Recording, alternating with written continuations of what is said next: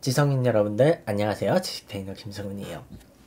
오늘은 뭐 손을 흔들면서 뭐 인사를 하거나 그러지 않는 이유 중 하나가 그 지금 현재 망자가 되어 가지고 현재 그 장례를 치르고 있는 사람에 대한 이야기를 오늘 인물탐구 주제로 다뤘기 때문에 이, 이 사심역사가 보통 뭐 인물탐구나 뭐 사건탐구 아니면 뭐 그 유적지 답사 뭐 이런 거 위주잖아요. 아니면 뭐 스포츠 관련 기록들, 뭐 문화 예술 이야기, 뭐 이런 것들 그 하는 거니까 어쨌든 그냥 사진 역사 생각하면 그냥 하고 싶은 거 그냥 다 역사로 다룬다고 보면 되는 거예요. 그 그러니까 사심 역사지. 응?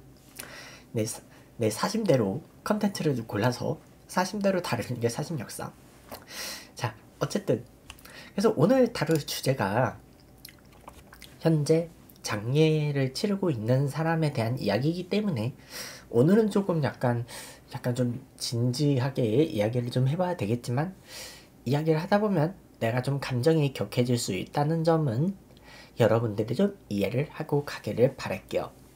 자, 그래서 오늘 이야기할 사람은 바로 역사의 빛과 그림자를 모두 남긴 대통령이라고 내가 수식어를 써놨는데 노태우 음, 역사의 빛과 그림자를 모두 남겼죠. 음.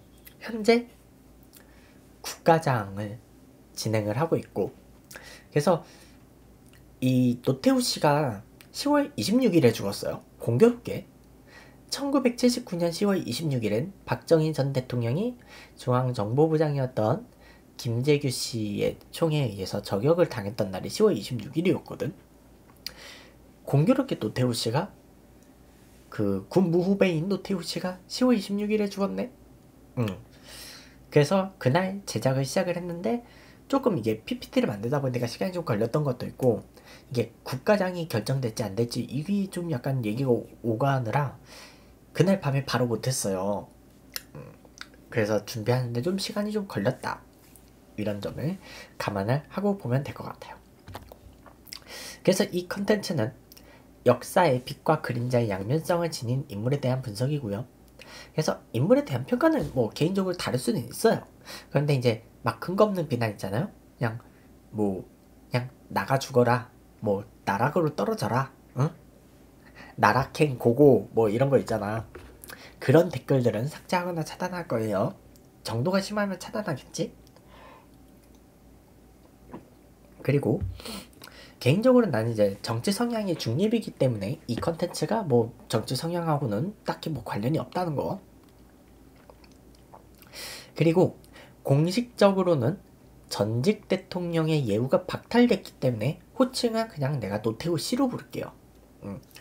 전두환 씨도 전두환 씨라고 부를 거예요.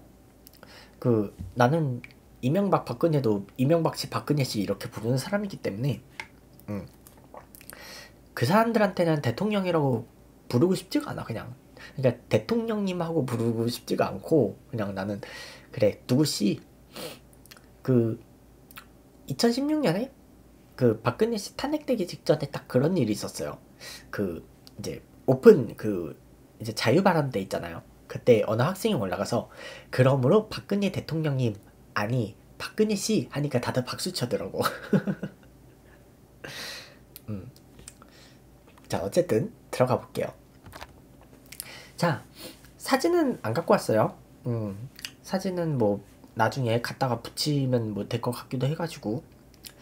자, 그래서 이름 노태우라고 하는데 그 노무현 전 대통령도 그렇고 노태우 씨도 그렇고 이 성을 쓸 때 그 ROH로 쓰더라고.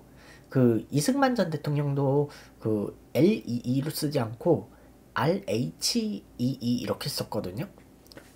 그래서 약간 그 두음 법칙과 관련해 가지고 조금 이 약간 그 노자로 쓰느냐 로자로 쓰느냐 약간 뭐 이게 좀 갈리는 것 같아요. 참고로 그건 이따 얘기하자. 그래서 1932년 12월 4일생이었고 2021년 10월 26일에 그 망자가 됐죠. 그래서 언론에서는 이제 향년 89세로 보도를 하더라고. 한국 나이로 다 89세로 보도를 하는데 일단 만으로는 향년 88세가 맞아요. 아직 12월 생일이 안 됐었기 때문에. 그리고 이제 대통령 재임 시기는 1988년 2월 25일부터 1993년 2월 24일까지 대한민국의 13번째 대통령으로 재임을 했었어요. 제6공화국 한정이면 그러니까 지금 현재 헌법에 의한 대통령은 처음이죠. 그 다음에 이제 태어날 때는 경상북도 달성군이었는데 여기 공산면 자 공산면 어딘지 알죠? 그 대구의 팔공산 그 팔공산 쪽에 있었다고 그래요. 그래서 마을 이름은 용진 마을이 그대로 맞는데 지금의 행정구역은 대구광역시 동구라고 해요. 그리고 자택이 서울특별시 서대문구 연희로 15한길 그 골목에 그 라인이라고 그래요. 그, 그 주소는 연희로 15안길 다음에 사실 찾으면 나오는데 일부러 여기에는 얘기 안 했어요. 찾아가지 말라고. 요즘 그 스토킹 처벌법 강화됐잖아. 아 몰라. 근데 가끔 내가 요즘 이제 걷기 운동 많이 하는데 뭐 근처 가게 되면 뭐 쇼츠 영상으로 그 1분 미만 영상 있죠? 그 쇼츠 영상으로 뭐 깔짝 올리거나 뭐 그럴 수는 있어요.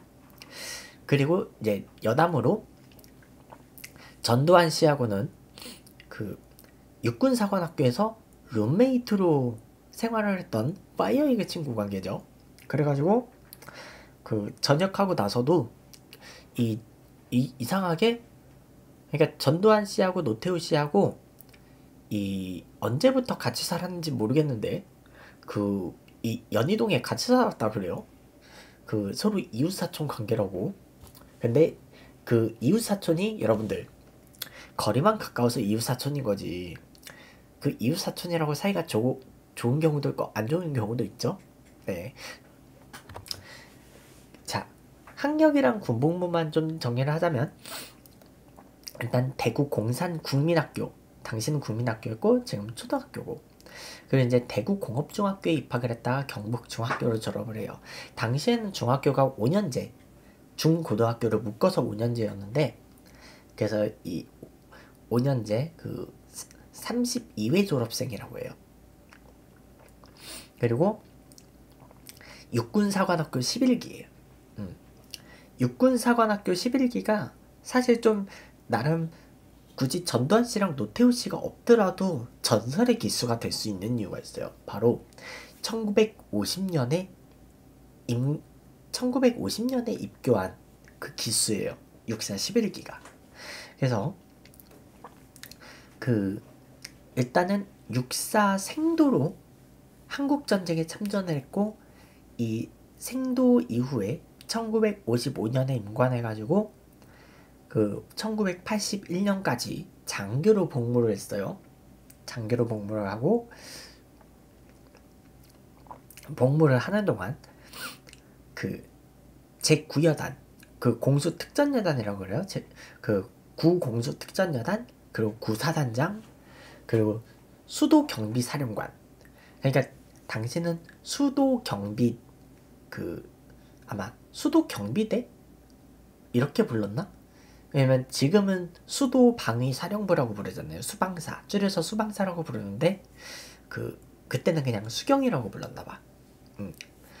어쨌든 지금은 그 수도 방위 사령부 해 가지고 수도 방위 사령관이 지금 편제가 중장일 거예요. 쓰리스타. 그 군단장 대우를 받아요. 그리고 국군 보안 사령관. 음. 그 국군 보안 사령관까지 역임을 하고 전역을 했지. 자, 그리고 한국 전쟁 때는 육사 생도로 참전을 했고 베트남 전쟁 때는 지휘관으로 참전을 해요. 지휘관으로 대대장으로 참전을 했을 거야. 자, 그리고 본관이 교화 노 씨예요. 여기서 교화가 어디예요? 뭐 이렇게 물어보겠지만 요즘은 교화라고 하면 대충 아는 사람들이 꽤 생겼죠. 왜냐면 그 파주 교화동 음, 파주 교화신도시 있죠? 그 운정신도시 요즘 엄청나게 커졌는데 그 운정신 운정신도시 바로 서쪽이 교화신도시예요. 음, 운정신도시보다 좀 먼저 생기긴 했어. 그래서 그 교화도시 그, 그 동네고요. 그 그리고 이제 부친이 노병수 씨가 있고 모친이 김태향 씨가 있어요. 김태향 씨는 되게 오래 사, 오래 사셨어요. 90년 넘게. 음. 그 노태우 씨가 출소하는 거를 보고 들어가셨으니까. 음. 그리고 남동생으로 노재우 씨가 있고 배우자 김옥숙 씨 사이에서는 이제 현재 아트센터 나비 관장 그 노소영 관장이 있고 그리고 그 변호사 겸 동아시아 문화센터 원장으로 있는 그 노지연 변호사가 아들로 있어요. 근데 그 굳이 가족 관계를 하나 더 얘기를 하자면 아직까지는 사위인 사람이 있어요. 그 현재 SK그룹 회장인 최태원 회장이 아직까지는 노태우 씨 사위예요. 법적으로는 사위예요. 근데 지금 현재 별거 중이래. 그러니까 법적으로는 아직은 사위인 이유가 그 이혼 소송이 진행 중이어가지고 사실 그 이혼 이혼 관계가 아니라 진짜 결혼 관계가 유지가 되고 있었으면 이번에 그 아마 빈소를 아마 SK그룹이 아예 빈소를 마련했을 거예요. 그 회장님의 장인어른이 돌아가셨다는데 음? 가만히 있겠어? 대기, 대기업이? 근데 현재 이혼 소송 중이라 이번에 굳이 SK그룹이 장례를 나, 뭐 나서거나 그러진 않는 것 같아. 음. 어차피 뭐 국가장이라서 굳이 SK그룹이 나설 필요가 없어지긴 했는데 그래서 음, 노태우 씨가 1945년에 이제 공산국민학교를 졸업을 하고 공업중학교 입학을 해요. 자, 그리고 1948년 이 경북중학교에 편입을 하는데 이 이제 중학교를 좀 약간 학교를 옮기는 이유 이 계기가 그 이제 이따가 가족 관계 관련 얘기가 있을 거예요. 그때 좀 학교를 옮기게 돼요. 그리고 1951년 8월에 경북중학교를 졸업을 하고 5년제 학교를 졸업을 해요. 자, 그래서 이때 학교를 졸업을 하고 사실 이때까지는요, 그 경북중학교 중학교가 5년제니까 음, 중학교가 중학교 딱 마치면 그 만으로 17이었을 거예요. 음, 노태우 씨가 또 생일이 좀 늦은 것도 있고 하니까. 근데 딱 그 나이 때 당시 5년제 중학교를 딱 마치면 그 한국전쟁 징, 징집 대상이 된 거야. 근데 이제 그 중학교 학생이었던 이유로 그러니까 전문학교에 들어가지 않았 전문학교 학생들이었으면 아마 이 징집이 됐을 텐데 중학생들은 징집이 안 되고 안 됐거든요. 물론 징집이 안 된 이 중학생들이 학도병으로 참전을 하기도 하죠. 그 학도병도 군인이죠. 자, 근데 당신은 일본의 학사 일정에 맞춘 일정이었어요. 지금도 일본도 중학교 3년제, 고등학교 3년제로 바꿨는데 당시에는 중학교가 5년제였어요. 음. 중학교가 5년제였고 독일도 독일도 학제가 조금 다른데 독일은 옛날에는 그 초등학교가 끝나면요 이 뭐냐 인문계 쪽 학교가 김나지움이 9년제였고 그리고 뭐, 뭐 5년제가 있고 7년제가 있고 뭐 그랬다고 하네요. 근데 이제 어쨌든 중학교 5년제 나오고 나서 전문학교에 가는 시스템이었죠. 지금은 전문학교들이 다 대, 대학으로 승격이 됐지만 자 그리고 일본은 지금도 새 학기를 4월에 시작해요. 근데 이제 우리나라는 이제 일본보다 한 달 빨리 하자 하면서 이제 3월로 바꾸죠. 자 그리고 이제 양력 정리 1951년 10월에 그래서 중학교를 졸업하자마자 육군사관학교 11기 입교를 해요. 자 근데 이제 1951년 10월이면요 이미 그 인천 상륙작전 1년 전에 했고 평양 수복했다가 압록강까지 진격을 했다가 이 장진호 전투에서 후퇴를 해가지고 흥남 철수하고 그 일사후퇴 서울 다시 내주고 한 수, 수원까지 내려왔다가 그 제2차 인천 상륙 작전 거쳐가지고 다시 이 우리 북위 38도선 남쪽 지역 다 탈환하죠. 그 다음에 저기 그 강원도 한 설악산까지 수복하고 그렇다고 치자. 자 그러고 나서 그러니까 좀 이제 어느 정도 그냥 그 공방전 왔다 갔다 하는 그 시기라고 보면 돼요. 저 시기는. 그래서 입교하자마자 사관 생도 자격으로 한국 전쟁에 참전을 하게 돼요. 그 당시 사관 생도들한테 그 여러분들 우리 그 육군 복무신조 제창하잖아 점호 시간마다 그 둘 우리는 실전과 같은 훈련으로 지상전의 승리자가 된다. 실전과 같은 훈련을 하기에 전장만큼 딱 좋은 장소가 없었겠지. 그 당시에는요. 따로 사관학교에서 따로 훈련을 시킬 시간도 없었고 그러니까 그냥 진짜 뭐 PRI도 제대로 할 시간도 없지 그냥 그냥 뭐 아주 최소한의 겨, 병기본만 시키고 그냥 끼어드는 거예요.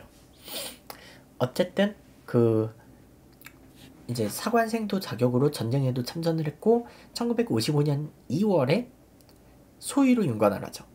그러니까 전쟁 끝나고 병사들은 전역을 했겠지만 무, 물론 그때 참전해가지고 계속 그 군인으로 복무한 사람들도 있었고 어쨌든 노태우 씨는 육군 소위로 임관을 했다. 임관을 하고 그래서 전설의 육사 11기 육사 10기 아마 김종필 김종필 씨가 아마 좀 더 선배일 수 거야. 응. 어쨌든 그래서 수위를 임관하고 그 다음에 제 5사단에서 5사단에서 소대장을 해요. 근데 그 당시는요.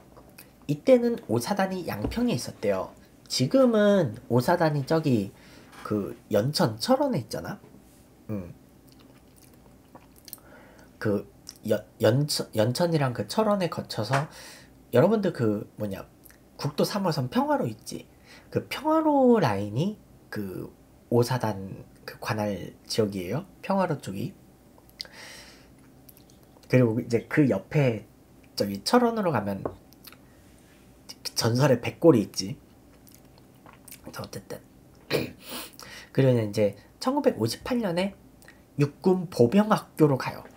그러니까 이제 소대장 임기 끝나고 나서 보병학교 가가지고 이제 뭔가 그 장교들 뭐 추가 교육 받고 막 그런 거 있잖아. 그러니까 약간 이때 대위로 간 거지.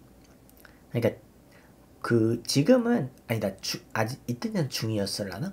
그 보통 장교들이 대위쯤 되면 그 고군방 교육을 가더라고요.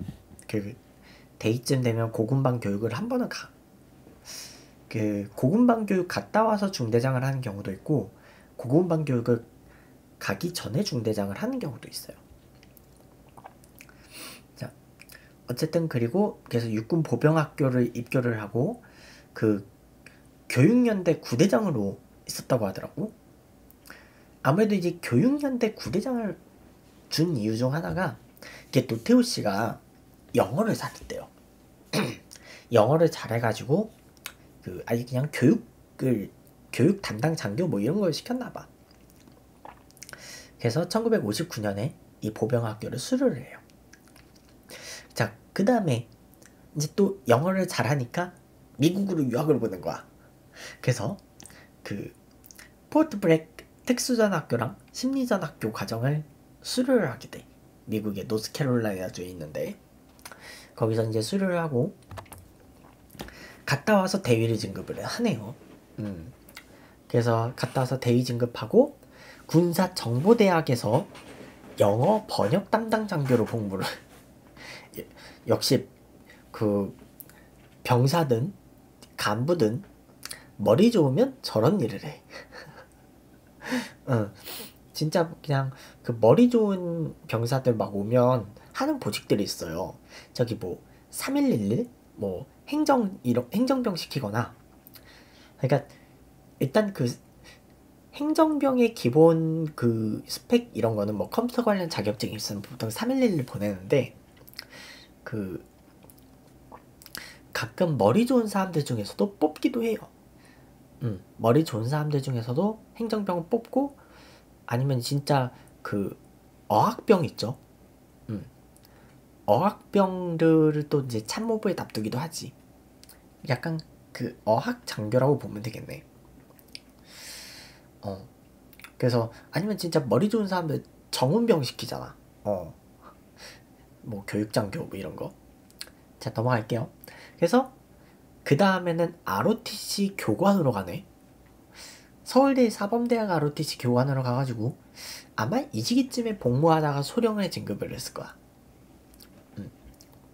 음. 왜냐면 그 저기 병사들한테 교관은요. 병사들 상대로 신교대에서 교관들이 보통 그 부사관들이나 장교들이 교관을 하잖아. 근데 이 간부들한테 솔직히 장교가 교관을 할 수, 그 위관급 장교가 교관을 하기엔 좀 그렇죠. 그 아마 내가 알기로 부사관 학교도 그 아마 교관이 최소 중사 이상인 걸로 알거든요. 부사관 학교도 그 충성 정통해야 따른다 뭐 있잖아. 그리고 그 다음에 그치. 자 아마 내가 알기로 장교들의 교관들은 최소 소령 중령인 걸로 알고 있어요. 어쨌든 그리고 그 다음에 국군 방첩부대 정보처에서 정보과장이랑 방첩과장으로 복무를 하죠. 한 그래 한 이쯤 가면 아예 이 과장 보직이 소령이었나 봐. 그리고 1967년에 중령으로 진급을 해요. 자, 근데 소령에서 중령에서 좀 생각보다 빨리 된 이유가 있어. 왜냐면 베트남 전쟁에 참전을 하러 갔거든. 그래서 그 베트남 전쟁 그 맹호 사단 그 우리가 알고 있는 그 맹호 부대예요. 그 맹호 그 맹호 사단 현재 수도 기계화 사단 수기사죠.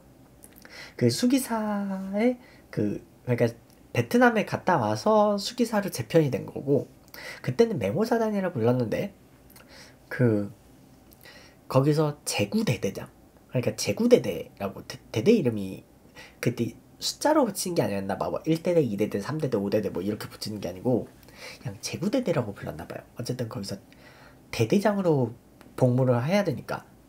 근데 이제 사실 이 대대장이 편제가 중령이거든요. 그래서 중령 진급이 된 것 같아. 내가 보기에는 그래. 음. 그 대대장 편제가 중령이기 때문에 그 중대장 편제가 대위죠. 그리고 대대장 편제가 중령이고 그리고 이제 그 중대보다는 규모가 크고 대대보다는 규모가 작은 이 대라는 규모의 부대가 있어요. 그 대 같은 경우가 보통 어느 급에 속하냐면요. 그 사단의 의무대. 그러니까 약간 중대보단 좀 커야 되는 부대가 필요, 있을 때가 있어요. 특히 사단이나 군단의 그 본부대. 그러니까 예하 부대들이 담당하는 게 아니고 그 사단이나 군단의 본부를 지켜야 되는 병력들이 필요하잖아. 이 병력들을 본부대에다 놓는 거예요. 본부 중대라고 하기엔 조금 그 약간 규모가 좀 적을 수 있기 때문에 그래서 본부 대장 이 대장을 소령이 맡아요. 뭐, 뭐 그렇다고 하더라. 그리고 그 다음에 그래서 본부 근무대 뭐 이런 거 있잖아. 음, 본부 근무대. 뭐 그렇고 그 다음에 1968년에 육군대학을 수료를 하고요. 음, 그래서 이 육군대학 수료를 하고 보통 그 육군대학을 내가 아는 간부분은 소령대 가더라고. 소령대 육군대학에 가고 그러니까 좀 약간 그 이제 영광급 이상으로 그 이제 진급을 통과한 사람들은 육군 대학을 한 번씩 그 육군 대학 한 번씩 갔다 오더라. 음, 이게 더 공부를 해야 되니까. 그리고 수도 경비사단 대대장을 해요. 그 다음에 이제 아무래도 베트남 전쟁에 갔다 왔다 보니까 진급이 좀 빨랐나 봐. 1970년에 대령이 돼요. 대령이면 이제 편제가 저기 연대장 편제죠. 연대장 편제인데 육군 참모총장 수석 부관장교로 가요. 연대장으로 안 갔어. 음. 연대장으로 안 가고 이런 참모총장의 수석 부관으로 가. 자, 육군 참모총장 포스타죠. 포스타의 부관이 그러니까 그거지. 부관을 장군을 줄 수는 없잖아. 그래서 대령을 부관으로 맡기는 것 같아. 그 다음에 이제 1971년 보병 연대장 결국 연대장 한번 가네. 연대장 한번 가고 이제 1974년에 드디어 스타를 달아요. 준장이 돼. 음. 준장이 내가 빨간색 해놓은 이유가 있어. 여기서부터가 스타거든. 그래서 준장이 돼가지고 공수 특전 여단장으로 부임을 하네. 자 여기서부터 이제 그 구공수 특전 여단장으로 가는데 자 여, 여기서부터가 이제 군 커리어가 조금 좋아요. 1976년에 청와대 대통령 경호실의 행정차장부 1978년 1월에 소장 진급 그리고 대통령 경호실 작전 차장부 1979년 3월에 이제 구사단장으로 가고 그 다음에 이제 12.12 군사 쿠데타를 참여를 하고 그 다음에 국가 보위 입법회의 비상대책위원으로 같이 있다가 1980년 전두환 씨가 대통령이 되고 나서 본인도 중장으로 진급을 해요. 중장으로 진급하고 이제 국군 보안 사령관이 돼요. 이 국군 보안 사령관이 이제 노태우 씨의 마지막 그 임지가 돼요. 그 다음에 이제 저녁 직전에 대장을 대장을 달아주고 전역을 하게 돼. 음. 예비역 대장으로 전역시켜주기 위해서 그냥 대장을 달아줬다 하고 생각하면 되겠네. 그리고 이제 민주정의당이 입당을 해가지고 그 각종 뭐 정무 제2장관, 음, 국가안전보장의 상임위원, 그리고 남북한 고위회담도 갔다 오고 체육부 장관, 내무부 장관, 그리고 1988 서울올림픽 조직위원장을 맡아요. 그러니까 그 올림픽 개, 열릴 때까지 맡은 건 아니고 중간에 중간에 준비 과정할 때 조직위원장을 맡아요. 그리고 이제 대한체육회장 그리고 제 12대 국회의원 국회의원은 딱 한 번 해. 국회의원 한 번 하고 그 한 번도 음 1988년에 그러니까 그 제6공하고 개헌할 때 이제 국회의원 다시 뽑거든요. 음. 그때 다시 뽑는데 그때 이제 뭐냐 대통령이 되면서 그 국회의원은 사퇴를 하게 되죠. 자 그리고 대통령 선거 후보를 거쳐서 직선제를 거쳐서 대통령이 돼요. 자 그는 대통령 되고 3당 합당하고 자그 다음에 1995년에 구속되고 그러니까 뭐 국가 정책이 영향도 있었죠. 과거 역사 바로잡기 뭐 이런 거 등등. 헌정 그래서 처음에는 비자금 사건으로 구속이 되는데 그 조사를 하는 과정에서 이제 전두환 씨가 같이 끼면서 12.12 쿠데타랑 5.18 광주 민주화 운동 등의 죄값이 합산이 돼요. 음. 1심에서 무기징역 그리고 이제 2심에서 17년형으로 감형되고 대법원 상고심에서 그 형량이 확정이 돼서 복역을 하다가 특사로 풀려나죠. 그 다음에 뭐 백범기념관 건립위원회 고문도 맡았다 그래. 백범기념관 우리 집에서 별로 안 먼데. 자 그러면 이제 지금부터 한번 쭉 이 일대기를 한번 쫙 한번 정리를 해보도록 할게요. 1932년 8월 17일 달성군 용진마을 면석이 노병수의 아들로 태어나죠. 그래서 할머니 영향으로 이 팔공산에서 참선을 좀 많이 했다 그래요. 그 폐활량이 좋은 이유 중 하나가 어릴 때부터 산 타서 그런 것도 있고 보통 이 절에서 참선을 한다는 거는요 굳이 머리를 밀지 않아도 108배 하거든 이 108배 하면요 다리 운동이 진짜 많이 돼요. 하체 운동 진짜 잘 된다 그래. 음. 뭐 그렇다고 하고 그 다음에 1940년에 부친 교통 부친이 교통사고로 일찍 돌아가셔요. 좀 요절하신 케이스야.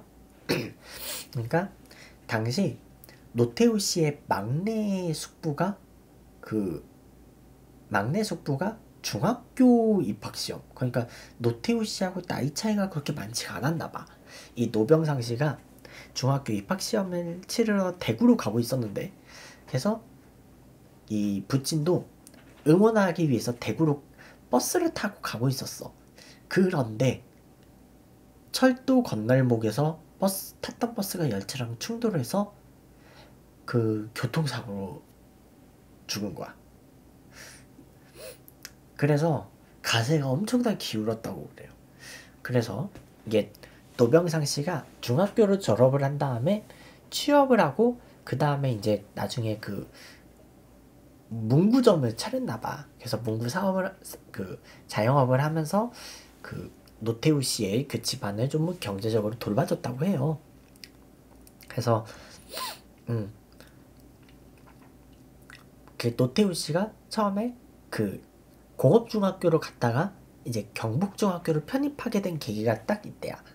그 전학해서 노병상 씨 집에서 통학을 하게 된 거야. 음. 그리고 이게 중2 시절에 말라리아를 앓은 적이 있대요. 그러니까 이것도 계기가 된 거지. 말라리아를 앓은 이후에 어 의사가 되자 했는데 때마침 그때가 이제 태평양 전쟁이 있었을 때였거든요. 그래서 외과 의사가 되기 위한 목적으로 어 이제 공부하자 해가지고 대구 경북중학교 4학년에 편입을 하는데 이때 경쟁률이 10대 1이었다 그래. 이때 이 경북중학교 동기로는 삼성그룹 창업주인 이병철 명예회장의 그러니까 이병철 전 회장의 그 맏아들인 이 맹희 회장이 있어요. 그 둘째 둘째가 이건희 회, 이건희 회장이지. 어쨌든 그리고 이제 한국 전쟁에 참전을 하게 되는데 중학교 졸업하고 육군 사관학교 11기에 입학을 하는데 이때 사실 전시여서 그랬는지 모르겠는데 경쟁률이 20대 1이었다 그래요. 뭐 나는 고3 때 수시 모집 때 144대 1도 해봤는데 물론 떨어졌어. 그 20대 1까지 경쟁률이 올라가가지고 그래서 한국 전쟁에 참전을 하게 돼. 그 이제 노태우 씨는 성적만으로 입학을 했다 그래요. 100명 중에 한 10등권으로 입학을 했는데 몰라 공부를 좀 덜해서 그런가 졸업할 때 67위로 떨어졌다고. 자 노태우 씨는 우수하게 입학을 했는데 사실 전두환 씨가 노태우 씨보다 한 살이 많거든요. 근데 전두환 씨는 인문계 학교에 편입을 하려다가 실패를 해요. 그 인문계 학교에 편입하려다가 실패를 했고 그래서 갑종 장교로 시험을 그 들어갔었는데 그 시험도 탈락하고 그래서 사관학교에서 그 아마 그 막상 뽑아놓고 보니까 사람을 좀 더 뽑아야 된다 봐. 당시 전시라서 그랬을 수도 있어. 그래서 충원 합격을 시켜요. 이 충원 합격으로 11기에 약간 끼워서 들어간 거야. 심지어 재수인데도 충원 합격으로 선발된 거야. 전두환 씨는 재수한 거예요. 그래서 그 공교롭게 사관생도 때 노, 이 노태우 씨랑 전두환 씨가 같은 방을 쓰게 돼요. 그 룸메이트가 돼. 그래서 좋게 말하면 룸메이트고 그리고 좀 흔히 남자들끼리 속된 말로 말하면 불알 친구가 된 거죠. 여기서 내가 PPT에다가는 영어로 좀 고급스럽게 fire friend라고 써놨는데 그쵸 흔히 말하는 정말 그 서로 같은 방에서 옷도 갈아입고 음? 같이 씻고 음? 그냥 뭐 볼 것 볼 것 다 본 사이다 이건 거예요. 어. 그냥 서로 볼 것 다 본 사이 그 불알 친구. 음. 어쨌든 그 불알 친구랑 이 내가 이 불알 친구라는 용어를 언제 알았냐면 이것도 웃긴다. 중학교 때 중학교 때 사회 선생님이 그 중3 때 사회 선생님이 그때 아마 특별활동 부장이었던 선생님이었을 거예요. 특별활동 부장이었던 선생님이었는데 그, 그분이 약간 걔도 그 EBS 교육방송도 나, 나갔었던 선생님이었고 그 막 학교에서 뭐 체육대회 때 축구 경기 뭐 이런 거 있으면 그분이 막 그 중계하면서 해설하는 그 선생님이었거든. 하여간 그랬는데 이 어쨌든 fire egg friends. 음. 가 있었고 그래서 12.12 쿠데타 때 룸메이트 인연으로 그러니까 12.12 쿠데타 멤버들을 자세히 보면요. 진짜 누구랑 누구는 사관학교 때 어, 서로 어느 방 룸메이트였다. 그러니까 이쪽 불알 친구였고 이쪽 불알 친구였고 이쪽 불알 친구였고 이쪽 불알 친구였고. 그러다 보니까 노태우 씨랑 전두환 씨도 네 불알 친구였잖아. 그래가지고 그 불알 친구 인연으로 함께한 사람들이 좀 많다. 그렇다고 하더라고요. 그, 그 다음에 이제 군복무. 그래서 육군 소유가 되는데, 5사단 27년대 3대대 11중대 3소대장으로 갔다고 그래요. 뭐, 이거는 관련 기록이 있으니까 3소대장까지 음, 했고 당시에는 오사단이 양평으로 양평이 있었고 지금은 연천이랑 철원을 관할을 하고 있죠. 정확히 얘기하면 저기 연천 쪽, 저기 신탄리 쪽. 응. 그 그러니까 구철원 연천이랑 저기 구철원 쪽이 아마 오사단일 거예요. 내가 오사단에 복무한 건 아니고 그 내가 이제 그 탄약대대 있었잖아요. 탄약대대 중에 독립중대 한 개의 중대가 연천에 있었어요. 딱그 솔산역에서 연천 딱 넘어가자마자 거기에 있는 탄약고를 그 경비 중대가 아마 그 오사단 소속이었을 거예요. 그래서 그 경비 중대가 충성이라고 인사를 안 하고 단결이라고 인사를 하더라고. 응. 경례고가 단결이에요. 거기는. 그리고 이제 영어 실력이 좋다 보니까 보병학교에서도 구대장 시키고 육군정보학교에서도 영어 교관을 시키는 거야. 그 위관급 장교인데 정보학교에서 교관을 맡아요. 음. 그 다음에 그래서 5.16 군사 쿠데타 때 그, 그 이후 이제 군부들이 좀 이제 침묵제를 좀 많이 하기 시작해요. 이때 조직된 단체가 하나회. 그래서 하나회 때 두목, 두목 전두환 씨, 그 부두목 노태우 씨. 그러니까 노태우 씨는 머리가 좋아가지고 머리가 좋아가지고 그 안에서 그 그러니까 그 육사 동기들 중에서도 노태우 씨가 머리가 좋아서 리더였고 전두환 씨는 운동을 잘해서 리더, 리더였다 그래요. 뭐 그치 머리가 나빠가지고 뭐 장교 장교 시험도 그 재수를 해서 들어가 1년 재수해서 들어갔는데 음. 어쨌든 그래서 전단 씨는 몸으로 때우는 걸 잘했고 노태우 씨는 머리로 때우는 걸 잘했다. 어쨌든 그래서 둘이 쿵짝이 잘 맞았나 봐요. 그래서 정치군인의 커리어를 걷기 시작해. 자, 그 다음에 이제 베트남 전쟁에 파병이 돼요. 맹호사단에서 대대장을 하기 위해서 그래서 대대장 편제를 맞춰줘야 하기 때문에 중령으로 진급을 해서 가게 되고요. 아무래도 그 당시 시대에는 저기 파병 갔다 오면 진급이 빨리 됐었나 봐. 음. 근데 지금도 그 간부들이요. 그 병과 고를 때 어느 병과가 진급이 빨리 되나 뭐 장기 복무까지 할 사람들은 그런 거를 좀 고르는 게 있대요. 그래서 우리가 이제 탄약대 되었으니까 부사관들의 대부분은 병과가 저기 그 탄약병과인 거야. 군사특기 291. 그 병사들은 2911, 2911이 탄약 보급병, 2912가 탄약 검사병, 2913이 탄약 처리병. 뭐 이렇게 있거든요.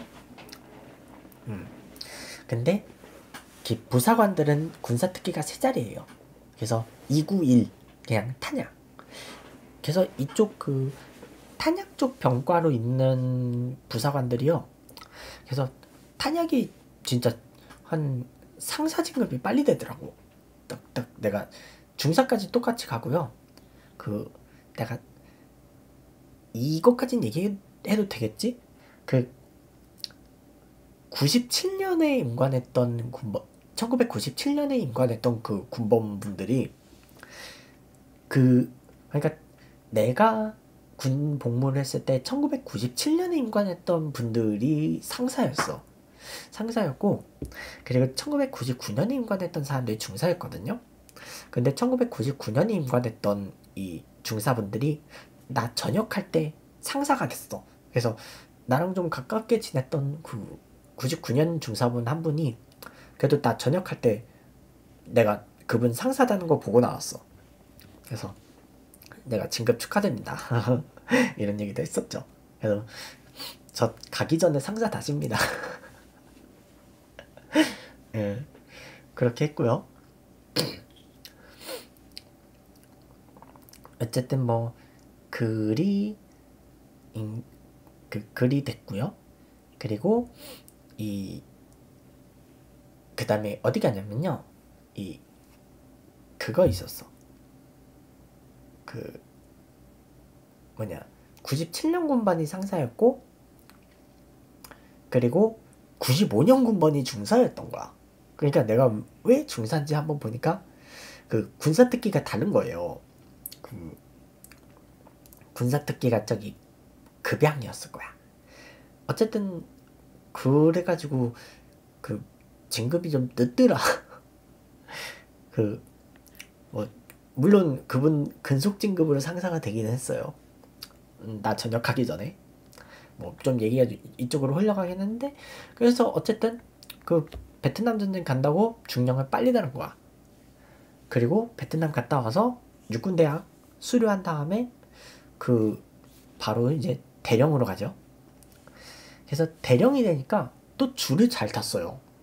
육군 참모총장의 부관으로 간 거야.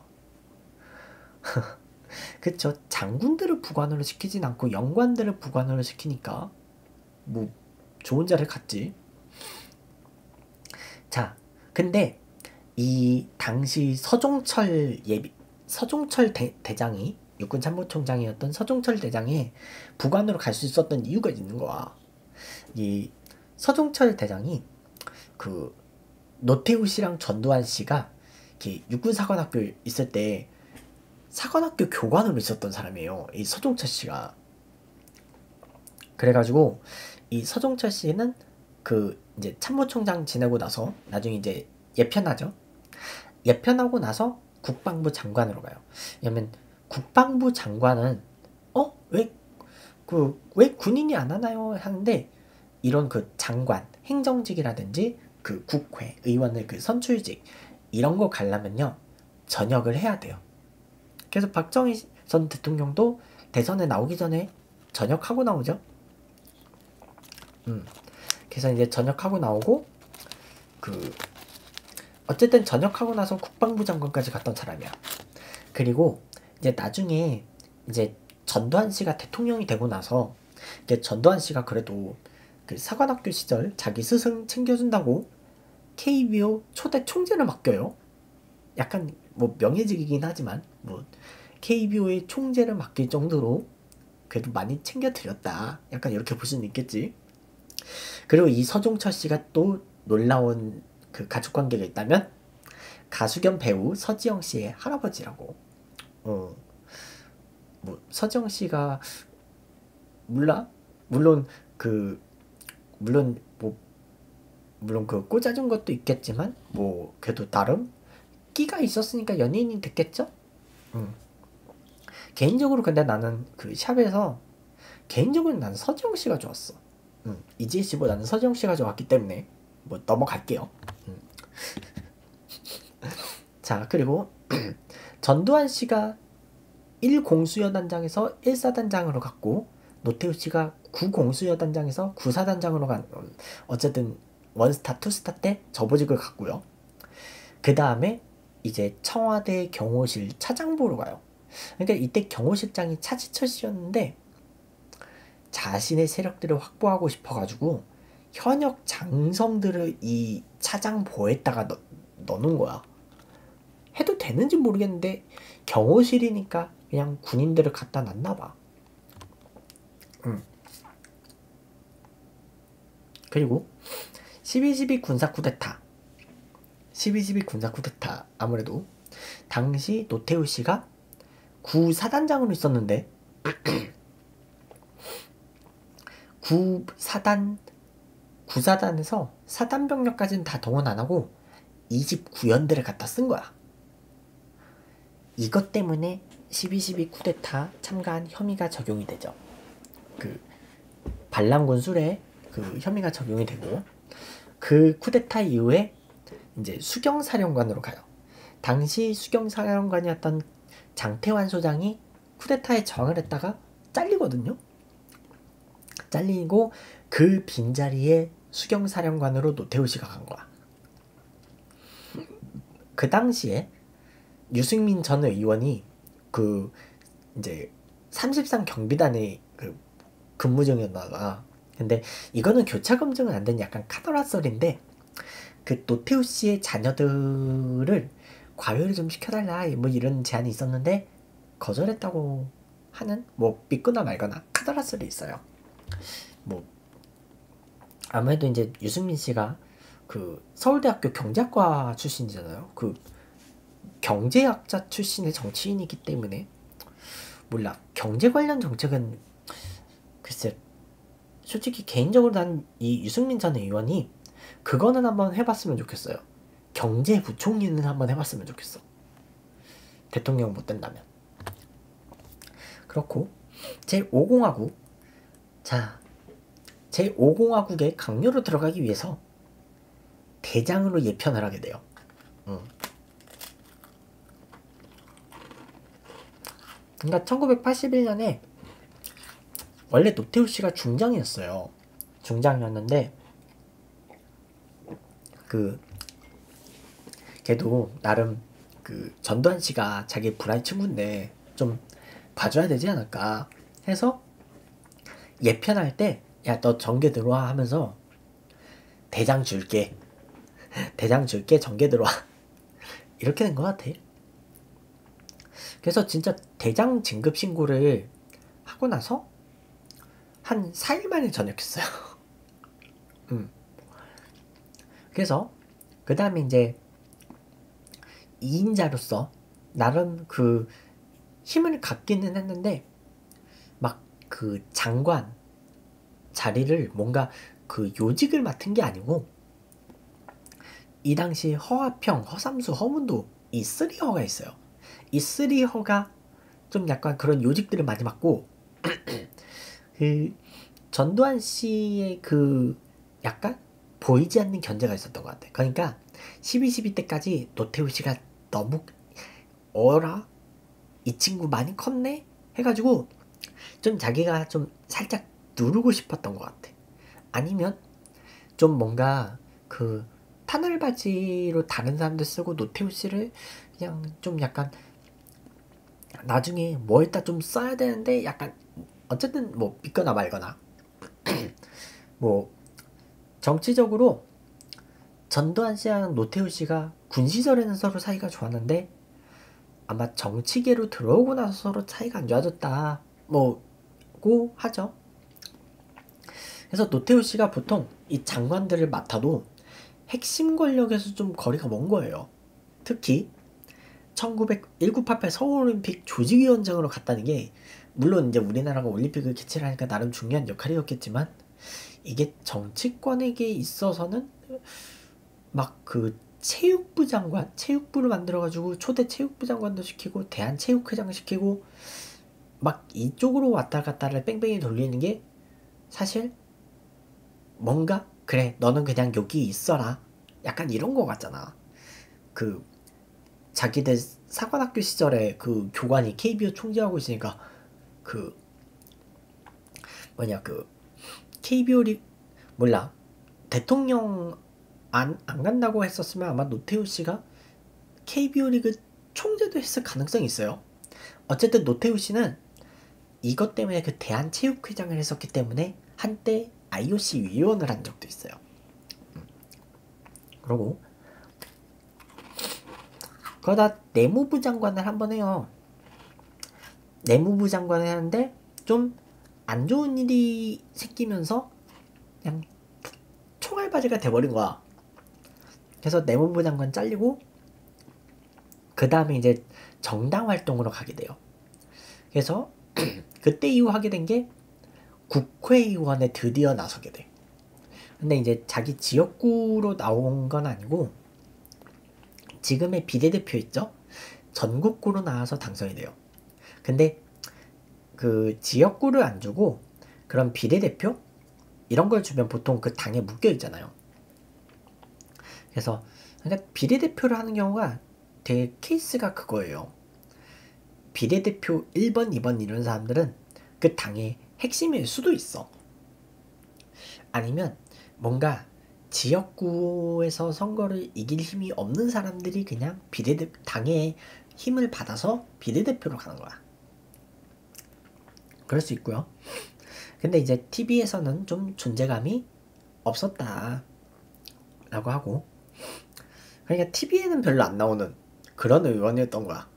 당대표 그 야당들의 그 야당들의 주, 그 주요 막 원내대표, 당대표 뭐 이런 사람들보다 존재감이 없는 사람이었어요.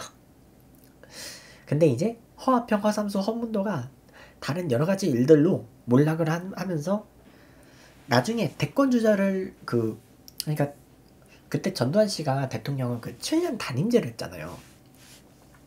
7년 단임제로 개헌을 하고 나서 그 개정된 헌법에 따라서 7년 대통령을 했는데 그 다음 대통령을 주려고 하니까 경쟁자들이 없어진 거야. 어. 그래서 단임제로 해놓으니까 분명 그 자기네 그 라인을 만들어 놓고 그 노태우 씨를 차기 대통령 후보로 지명을 해놓고 다른 경쟁자가 없으니까 전두환 씨는 그냥 그 뒤에서 상황 노릇을 하려고 했던 것 같다. 약간 그런 생각이 들어요. 자, 그런데 이제 대통령 선거가 예정됐던 1987년 이제 다음 대통령이 이제 올 때가 되니까 사람들이 직선제 실시하라 뭐 이런 움직임이 있었는데 4월 13일에 호헌 조치를 발표하죠. 지금의 헌법을 그대로 수호 지키겠다. 기존의 선거제도를 유지하는 그건데 그 통일주체 국민회의가 장충체육관에서 회의하잖아요. 그 장충체육관 일명 그 체육관 투표 그걸로 뽑았잖아요. 근데 그거를 이제 6월 항쟁이 일어나면서 그리고 유혈 사태도 일어나죠. 근데 이때 6월 항쟁이 일어나면서요. 음, 이때 6월 항쟁 때 이때 그 김수환 스테파노 그 추기경이 학생들 앞에 내가 있다. 그 명동성당 앞에서 그랬던 적이 있었고 그리고 이때 노태우 씨가 직선제 수용을 선언하게 된 계기 중 하나가 음, 교황청에서 그 만약에 이 6월 항쟁이 그 유혈 진압이 뭐 일어난다. 응? 좀 5.18 때처럼 뭐 그러니까 5.18이 그렇게 많이 알려지지 않았을 시대였긴 했지만 그건 5.18과 같은 일이 또 일어난다 하면 그렇게 될 경우 이 이제 로마 그 바티칸 교황청에서는 이제 그 서양의 여러 나라들의 그 이야기를 보내서 1988 서울 올림픽 보이콧하자 약간 이런 움직임까지 할 뻔했대요. 그랬는데 그 전두환 씨가 직접 선언한 건 아니고 여당의 차기 대통령 후보를 갖다가 세워서 약간 노태우 씨가 직선제 수용 선언하죠. 뭐 노태우 씨 말로는 본인이 뭐 역사적 그 큰 뜻을 가지고 뭐 선언을 했다. 뭐 이런 얘기가 있지만 사람들이 보기에는 전두환 씨가 직접 대통령이 선언을 하면 될 것을 왜 굳이 차기 대권 주자한테 시켰을까? 음, 뭐 그런 거죠. 어쨌든 1987년 6월 29일에 기원을 하겠다. 그 개헌에 따라서 선거를 다시 하겠다. 어. 해서 그해 개헌이 있어요. 그해 개헌 통과하고 직선제로 12월에 대통령 선거를 하죠. 자, 그래서 제13대 대통령 선거가 열리는데 자, 기호 1번 민주정의당 노태우 후보는 이제 하나회 출신이잖아요. 그 불알 친구들이 모여있다는 그 하나회에서 그 이미지를 좀 쇄신하고 싶어서 내, 내거는 슬로건 보통 사람. 슬로건 보통 사람의 위대한 시대 진짜 음, 나 노태 보통 사람 노태우입니다. 해가지고 음 보통 사람 노태우 인사드립니다 해가지고 약간 믿어주이소 약간 그 경상도 사투리까지 섞어가면서 그런 진짜 자기가 그 보통 사람이라는 거를 그러니까 이 보통 사람이라고 그 그냥 내거는 그 슬로건을 사람들이 훅 끌린 거야. 근데 이거 계기가 좀 있어요. 일단은 너무 오랜만에 직, 직선제를 하다 보니까 여러분들 그 지난번 제 19대 대선 보면요 메이저 후보가 다섯 명이나 됐잖아요. 1번 문재인, 2번 홍준표, 3번 안철수, 4번 유승민, 5번 심상정. 음, 메이, 메이저 그 원내 정당, 어. 그 원내 정당 그 메이, 메이저 후보들이 다섯 명이나 됐는데 그 다섯 명이다 보니까 표가 다 그냥 나뉘었죠. 그래서 결국 과반 당선은 못했지만 그래서 이번에도 그 야권에서 유력 대권 주자들이 너도 그냥 나 나온 거예요. 처음에 그래도 그 김대중 전 대통령이랑 김영삼 전 대통령은 그래도 통그둘다 통일민주당이었거든. 신민당에 둘다 신민당이었고 그리고 이제 그 통, 통일민주당 음, 통일민주당을 창당을 해가지고 거기서 둘이 단일화를 하자 했는데 이 단일화가 깨져요. 단일화가 실패해가지고 김영삼 전 대통령은 김영삼 후보는 그대로 통일민주당 대통령 후보로 지명이 돼서 나오고 내건거는 군정의 종식. 약간 군정을 종식시키자. 약간 네거티브. 그리고 김대중 후보는 기, 결국 그 단일화에 응하지 않아 가지고 평화민주당 평민당으로 갈라져서 나와요. 그래서 에이 평민은 평민당 대중은 김대중 뭐, 뭐 어, 어, 이상한 성대모사 미안하고요. 에이 그렇지 않아요? 음.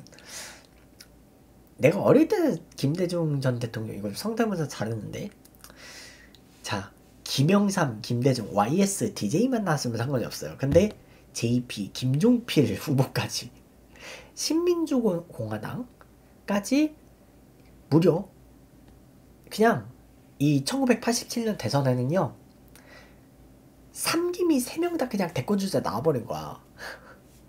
단일 삼김이 단일화를 못하고 애초에 김종필은 삼김 중에서 그 단일화가 좀 힘든 인물이긴 했지만 어쨌든 삼김이 각자 출마를 해버리는 바람에 결국 이 표심들이 다 분열이 돼버린 거예요.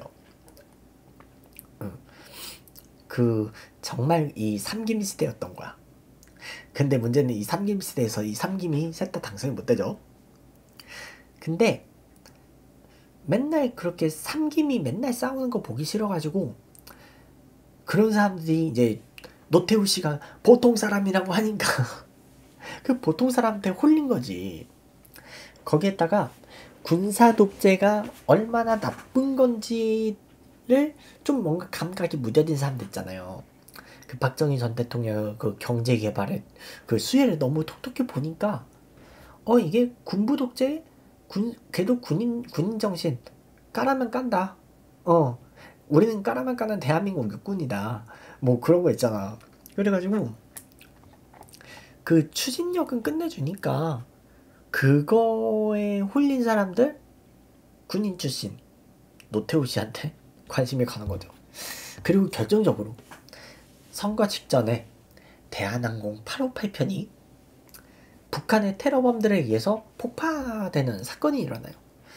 그러니까 안보 문제에 대한 불안감이 조정이 된 거야. 그래서 이것 때문에 사실 이 장군 출신이었던 노태우 씨가 지지율이 올라가요. 근데 사실 이때까지만 해도 제5공화국 시대에 얼마나 인권 유린이 심각했는지 특히 5.18 광주 민주화운동도 이때 제대로 그 진상이 제대로 알려지지 않았던 시대였잖아요. 그냥 광주에서 뭔 사태가 있었다. 그런 걸로만 그 알고 있었고 사실 이것 때문에 그 해태 타이거즈가 진짜 그 초창기 때 우승 굉장히 많이 했잖아요. 그때 광주 시민들이 그 약간 그 5.18 민주화운동 그 상처 이런 거에 한을 야구장 가서 쏟아낸 거야. 그래서 그 예전에는 그 전두환 씨 정부 때 그런 게 있었대요. 5월 18일 때 광주의 홈 경기를 배정을 안 했대요. 5월 18일은 광주의 홈 경기 배정을 안 했을 정도로 음, 그런 좀 보이지 않는 그런 압박이 있었지. 타이거즈는 그래서 지금도 그 전통이 있어요. 기아 타이거즈도 지금은 5월 18일에는 앰프 응원을 하지 않는 전통이 있어요. 그때 이제 여러분들 그거 참고하시면 될 것 같아요. 자, 그리고 노태우 씨가 내셨던 주요 선거 공약들 진짜 그 우리나라 1990년대 2000년대에 있었던 그 대규모 토목공사들 있죠? 다 이때 공약이야. 경부 고속철도 결국 2004년에 KTX 다니기 시작했죠. 물론 이제 2004년에 KTX가 제일 먼저 개통된 구간은 그 옥천역에서 그 저기 대구 칠곡 그 옥, 칠곡에서 옥천까지 구간이 그 추풍령 구간이 제일 먼저 거기가 고속선이 제일 먼저 뚫려요. 거기가 제일 먼저 뚫리고 그 다음에 이제 그 신탄진에서 저, 정확히 얘기하면 그 회덕 음. 한그 대전 조차장 음. 한 회덕쯤에서 회덕쯤에서 그 금천구청까지 거기 고속선이 그 다음으로 뚫리고요. 그때 생긴 게 이제 천안하산역. 천안하산역이 그때 좀 먼저 생기죠. 그리고 김천구미역은 좀 나중에 생겼고, 그리고 그 신경주역, 신경주역이랑 울산역은 나중에 생기, 생기죠. 그래서 처음엔 그랬잖아. KTX가 그 동대구까지는 고속선을 타고 그 동대구에서는 저기 밀양역이랑 구포역 거쳐서 부산 갔잖아요. 지금도 그 구포 경유 부산행은 가끔 있어요. KTX 산천에 한정해서 뭐 어쨌든 그래서 2004년에 KTX 개통했고 그 인천공항 건설 공약이 이때 나왔더라고. 그러니까 이때 공약도 용유도랑 영종도 사이 메우겠다 해서 지금의 인천공항이 생긴 거예요. 2001년에 개항을 했고 그 서울 지하철 확충 이 공약으로 그때 당시에 1호선하고 2호선밖에 없었던 서울 지하철이 1990년대 그 일기 신도시 일산 신도시 나올 때 딱 그때 3호선 3호선 일산까지 가죠. 그 그래서 1990년대 초반에 3호선이랑 4호선이 거의 비슷한 시기 개통이 돼요. 3호선이랑 4호선 개통, 개통되고 5호선이 1996년 그리고 1997년에 이제 8호선 1차 개통 8호선 1차 개통 있었고 그리고 그때 1997년에 역시 7호선 건대 입구에서 도봉산까지가 먼저 개통되죠. 그 먼저 개통되고 그 다음에 이 그 다음에 8호선 마저 개통되고 2000년에 6호선 개통되죠. 내가 2000년 때 중학교 다니면서 그때 중간에 그 6호선 공사하는 길을 계속 다니다가 중학교 1학년 끝나니까 그때 6호선이 개통이 되는 거야. 뭐 그래서 음 그때 6호선 개통된 거 보고 와 드디어 6호선이 뚫리는구나. 그때 봤죠. 그리고 이제 주택 200만 원 프로젝트 이게 바로 그 일기 신도시예요. 일산이라든지 분당이라든지 뭐 저기 부천 뭐 아니면 뭐 저기 의정부 의정부는 일기 신도시라고 하기엔 조금 애매하긴 해요. 의정부는 애초에 그 군사도시였기 때문에. 자, 그 다음에 이제 새만금 간척 사업. 자, 새만금 간척 사업 아직도 안 끝났죠. 이제 새만금 방주제 완공이 됐죠. 새만금로가 개통이 돼가지고 그 고군산 군도는 지금 다 다리로 연, 연결이 됐죠. 그것 그것만 해도 사실 지금 대단한데. 음, 그것만 해도 대단하지. 그래서 옛날에는 진짜 저기 군산항에서 배 타고 가야 되는 그 길이었는데 그 새만금 방주제 완공되면서 지금은 저기 고군산 그 섬들 다 육로로 갈 수 있죠. 그렇고 사실 그 이 사업들이 대부분이 다 IMF 때문에 좀 늦어진 감이 없지 않아 있어요. 그 5호선은 그래도 IMF 전에 뚫렸다? 근데 6호선이 조금 늦어졌고 이 IMF 때문에 원래는 9, 10, 11, 12호선이 있었는데 그 9호선이 9호선은 어떻게 거의 그대로 조금 늦게 개통을 했죠. 조금 늦게 한 2009년, 2010년 한 그때쯤에 개통했어. 그 공항철도도 이것 때문에 사실 개통이 좀 늦어져요. 공항철도 개통도 늦어지고 그 그 다음에 공항철도도 늦어지고 그 또 뭐가 그 90, 11, 12호선 중에 신분당 선으로 바꿔서 만들어진 것도 있고 분당선 연장으로 바꿔서 만들어진 것도 있고. 그러니까 원래는 그 분당선 계획이 그 약간 그 동북선 있죠? 그 동북선까지 연결이었는데 동북선은 결국 경전차로 따로 만들어지게 되지. 그러니까 원래는 다 9, 9호선에서 12호선까지가 모두 다 중전철이었는데 IMF 때문에 9호선 빼고 다 그 그냥 신분당선으로 하나 들어간 게 있고 나머지는 다 경전철로 바뀌죠. 어쨌든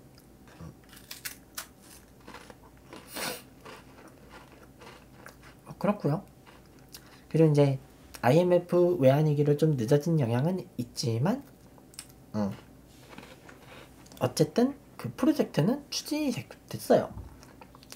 추진됐고 뭐 근데 사실 이 공사들은 진짜 다 우리나라의 뭐 거주 문제, 교통 문제, 그러니까 국토 교통망 거의 도시교통이 아니라 이거 국토교통이잖아. 그런 거 관련 공사들이랑 어떻게든 지금 다 하고 있는 거예요. 물론 이제 지금 그 이제 개펄 개펄에 대한 약간 그 보호 이런 인식이 생겨가지고 이제 그 새만금 방주제 새만 새만금 이후로 그렇게 이제 대규모 간척 이런 건 거의 안 하죠. 아 근데 저기 광양만은 하긴 한다. 저기 여수산단 쪽은 하긴 하는데, 음 그래요. 그러니까 이미 계획돼서 하고 있는 건 어쩔 수 없고 새로운 간척은 이제 안 하는 것 같아요. 음, 갯벌의 중요성. 자, 그리고 이제 대선을 해요. 대선을 하는데 역대 대선 최저 득표율로 당선이 돼. 이 사람이. 득표율이 36%. 역대 우리나라 당선됐던 대통령 중에 역대 최저 득표율이에요. 그러니까 이거는 노태우, 김영삼, 김대중까지가 둘이서 셋이서 30 몇 퍼센트씩 다 먹은 거야. 응. 36, 30 몇, 30몇 하고 나머지를 조금 이제 김종필 후보가 갖고 간 거야. 그래서 표심들이 다 분산이 돼 버린 거지. 그러니까 김영삼 후보랑 김대중 후보가 이때 단일화를 못한 게 좀 크죠. 그리고 두 사람은 결국 통일민주당 분열된 이후로 각자의 노선을 걷게 되죠. 각자 대통령 한 번씩 하고, 네. 그래서 김영삼 대통령하고 김대중 대통령 할 때 김종필이 총리가 되죠. 그러니까 사실 김대중 전 대통령이 대통령이 될 수 있었던 것 중에 하나는 이제 결국은 이 김종필 전 총리랑 단일화를 하면서 자기가 대통령이 되고 김종필 후보가 총리가 된다. 이런 조건으로 단일화를 했죠. 음. 그렇고 그래서 연립 연립 정부가 된 거지. 그리고 이제 제 13대 국회의원 선거 여기서 결국 이 36%밖에 득표를 못했던 게 총선에서 또 나오죠. 민주정의당이 과반을 못하죠. 자, 그리고 이제 50 잔재를 청산해야 되지 않냐 약간 이런 얘기들이 나오면서 결국 자기의 불알 친구가 뽑아놓은 핵심 인사들을 다 정리시키기 시작해. 전두환 이순자 부부의 친인척들을 어떻게 뭐 비리 혐의들을 다 찾아내 가지고 그 구속을 시켜요. 감방에 집어넣어요. 근데 여기서 노태우 씨가 이런 것들을 다 혐의를 피해갈 수 있었던 이유는요. 이때 전두환 씨가 가까운 자리 안 났거든. 다 한직으로 보냈거든. 뭐 올림픽 조직위원장 시키고. 음. 그래서 노태우 씨는 여기에 안 걸리는 거야. 음. 그러면 이 전두환 핵심 인사들을 정리하고 그 빈자리에는 경북 중고등학교 출신들을 넣기 시작한 거야. 음. 이때 대구 출신들이 출세를 좀 많이 해요.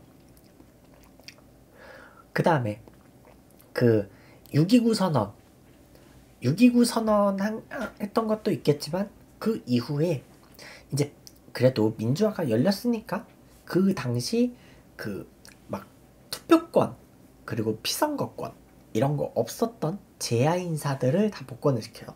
선거 출마해도 된다 뭐 이런 거. 그래서 이때 그 김대중 전 대통령도 복권 됐잖아요. 사실 물론 전두환 씨가 그냥 일찍 복권 시킨 것도 있지만 그리고 이때 정치인들에 대해서 이제 풍자해도 된다 허용하게 된 계기가 있어요. 당시 MBC 공채 코미디언인 최병서 씨가 이때 대통령 당선인 자격으로 노태우 씨가 MBC를 방문한 적이 있어요.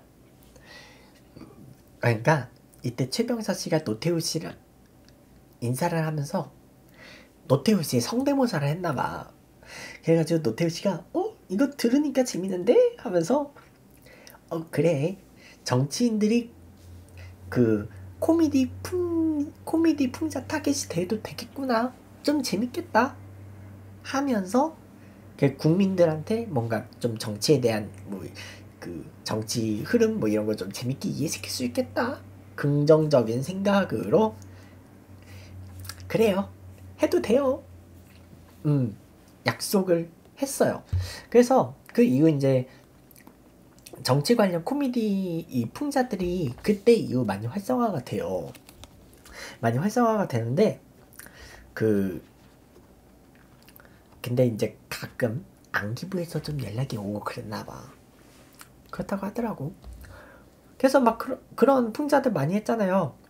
그 국회의원들에게 지하철이란 하니까 국회의사당역은 있는데 국회의원들은 안 타는 거.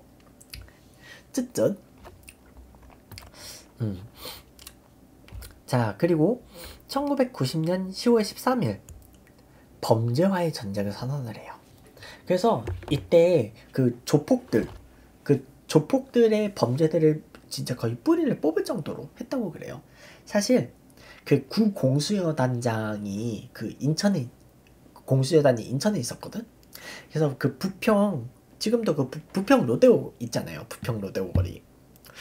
그 부평 유흥가에서 조직폭력배 토벌 작전을 한 적이 있대. 이 조직폭력배 토벌 작전 한 적이 있어가지고 그 지역대 규모 정도 인원의 그 특전사 병력들을 다 사복으로 잠복을 시켜놓은 거야 사복원병들 그리고 만약에 그 이쪽 조폭이랑 이쪽 조폭 그 두 조직이 시비가 붙어 싸움이 일어나 그러면 이 특전사들이 투입해가지고 둘 다 진압을 시켜버리는 그런 방식으로 투토화를 시켰다고 그래요. 그래서 그 경력이 있다 보니까 그래서 전국의 조직들을 뿌리 뽑겠다 해서 진짜 옛날만큼의 그런 조폭은 이제 거의 없다고 어디론가 사라졌죠. 뭐 지금도 어딘가는 있겠지만 어. 자 그리고 이제 그 이제 대북 정책이 이때 많이 좀 좋은 방향으로 갔던 게 1988년에 77 선언을 통해서 대북 방송에서 이제 비난 방송은 하지 않기로 했어. 이제 상호 디스다네. 근데 이제 요즘 그 대북 방송, 그 대북 확성기 방송 어떤 방송이었냐면요. 막 우리나라의 노래, 우리나라 가요들 막 방송하고 막 그 아이돌 노래도 막 틀어주고 막 그랬대요. 근데 이제 지금은 이제 확성기 방송 이제 치우기로 했죠. 판문점 선언 이후로. 그래서 안 하는 것 같고 그 다음에 이제 1991년 12월 남북 기본 합의서가 발표되죠. 이거를 계기로 남한이랑 북한이 같은 날에 유엔을 같이 가입해요. 음, 동시 가입을 해. 그리고 이제 그 통일동산 그 여러분들 그 저기 그 자유로 타고 쭉 가다 보면 그 성동나들목 있잖아요. 그 성동나들목이 그 오두산 통일전망대랑 그 여러분 그 헤이리 예술마을 있지. 그 헤이리 예술마을 그 가는 길이거든. 음, 거기 근처를 가요. 그래서 그 오두산 통일전망대 근처인데 거기가 그 그래서 이 통일동산을 만들어 놓는데 그 이제 자기 재임 시기에 그 만들어진 그 통일동산이고 그러니까 임진각 그 평화놀이공원하고 다른데요. 임진각은 한참 더 가야 돼. 음. 임진각은 거기서 한참 더 가고 그 저기 한 임진각쯤 문산에서 저기 임진각쯤 가게 되면 거기서는 이제 자유로가 그 편도 2차로 두 개, 왕복 4차로까지 줄어드는데 중앙 분리대 수준이 아니라 아예 그냥 간격이 좀 있죠. 그 그러니까 저기 그 갑자기 나들목 이름이 생각이 안 나는데 지금 그 평택 파주 고속도로가 그 끝나는 곳 있죠. 그 이제 평택 파주 고속도로가 이제 거기서 좀 더 가면 이제 그 임진강으로 다리가 놓일 건데 아직은 거기까지는 안 놓이고 음 아직은 거기까지는 안 놓이고 있지만 어쨌든 그 있어요.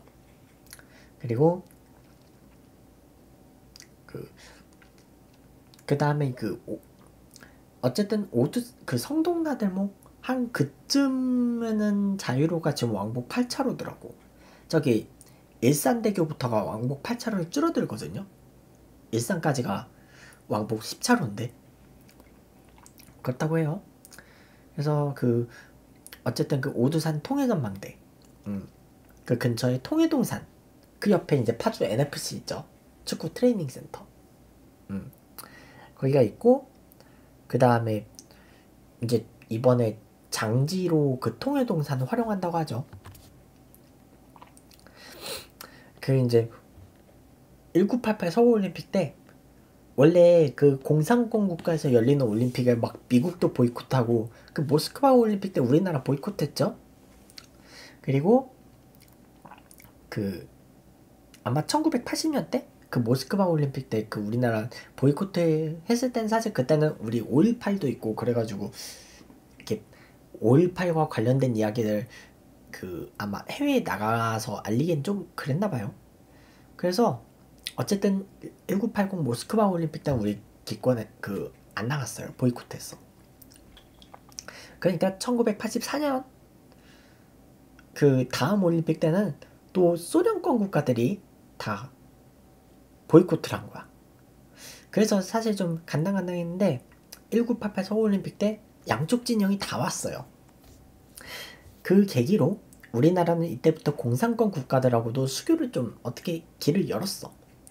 막 폴란드 시작으로 소련이랑 중국도 수교를 했고 베트남도 수교를 하고 그랬어요.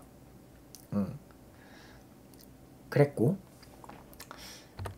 그 다음에 이제 전국 교직원 노동조합 정교조 지금은 이제 합법화된 교, 원 단체로 인정을 하는데 근데 이제 지금도 좀 그 뭐냐 교총이라든지 정교조라든지 이런데 막 가입 활동하고 있다고 하면 조금 그냥 꺼림칙하게 생각을 하는 분들이 좀 있더라고. 저기 학교에 그 사립학교에 그 높으신 분들.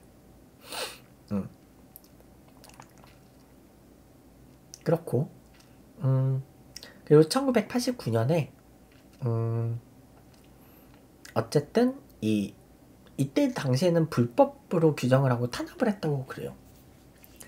근데 이제 이 탄압은 했지만 그 정교조가 요구했던 내용들이 있었나 봐. 그래서 이때까지는 진짜 선생님들 선생님이라면 진짜 막 가난한 자리 뭐 이런 걸 가난한 직업 뭐 이런 걸 생각했는데 이때 교원 대우가 진짜 좋아지고 봉급이 올라요.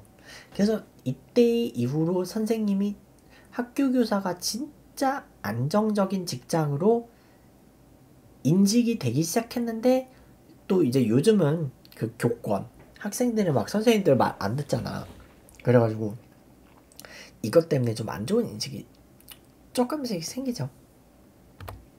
자, 그 다음에 이제 민주자유당. 자, 이 민주자유당이 생기게 된 이유. 줄여서 민자당이라고 부르죠. 근데 이 처음에는요, 평화민주당의 김대중 총재한테 합당 제의를 했었다고 그래요. 근데 DJ가 합당을 하겠어요? 안 하지. 그러니까 제일 야당인 평화민 평민당을 이제 못 받을 것 같으니까 그 통, 통민당의 김영삼 총재랑 그 신민주공화당의 김종필까지 이 교섭을 해가지고 합류를 시켜요. 그래서 1990년 1월에 그 유명한 3당 합당이 일어나요. 음. 이 3당 합당이 일어나서 민주자유당 그래서 이때 총재는 대통령이었던 노태우 씨가 취임을 했고 그 다음 총재는 이제 그 김영삼 전 대통령이 되죠. 그래서 이 민주자유당이 나중에 그 아마 그 노태우 씨가 비자금 사건으로 구속이 될 때 그때 아마 당 이름을 신한국당으로 바꿀 거예요. 이때 신한국당으로 바꾸고 그 신한국당이 그 이회창 씨가 그 이제 조순 전 서울시장이랑 후보 단일화를 하면서 이때 한나라당이 돼요. 음. 이때 한나라당이 돼. 물론 이때 신한국당은 사실 그, 그 당시 조순 시장이 있었던 민주당하고 합당하면서 한나라당이 되지만 사실 신한국당에서 그 이인재 씨가 갈라져 나오죠. 이인재 씨는 갈라져 나와가지고 그 국민 신당이 되지. 그래서 대권, 대선에서 지죠. 그 다음에 이 한, 한나라당이 박근혜 씨 때 새누리당이 돼요. 음. 이명박 그 이명박 씨는 그 한나라당으로 당선이 됐다가 그 새누리당에는 그냥 그 당정만 놔두고 있다가 박근혜 씨 탄핵될 때쯤에 조용히 탈당하지. 그 다음에 이제 그 친박 세력을 그러니까 완전히 그 골수 친박들 다 빠지고 나서 생긴 게 자유한국당. 그리고 그 자유한국당이 지금의 국민의힘이 됐죠. 음. 그렇다고요. 아주 뻘개요, 뻘개. 음. 새누리당 때부터 당 색깔이 뻘개졌어. 그 전까지는 당 색깔이 파란색이었거든. 한나라 때 파, 파란색이었는데 새누리당 되면서 빨간색이 됐어요. 하여간 그래. 그리고 이제 1992년에 제14대 대통령 선거 후보로 김영삼 총재가 지명이 돼서 그 출마해서 당선이 되죠. 자, 어, 잠깐만. 어. 그 다음에 이제 작전권을 환수 받자 해서 지금은 평시작전권은 우리가 갖고 있어요.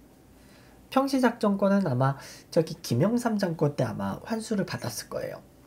그리고 1991년에 남북한 유엔 가입을 통해서 한반도 비핵화나 선언을 하고 있는데 북한은 핵을 갖고 있죠.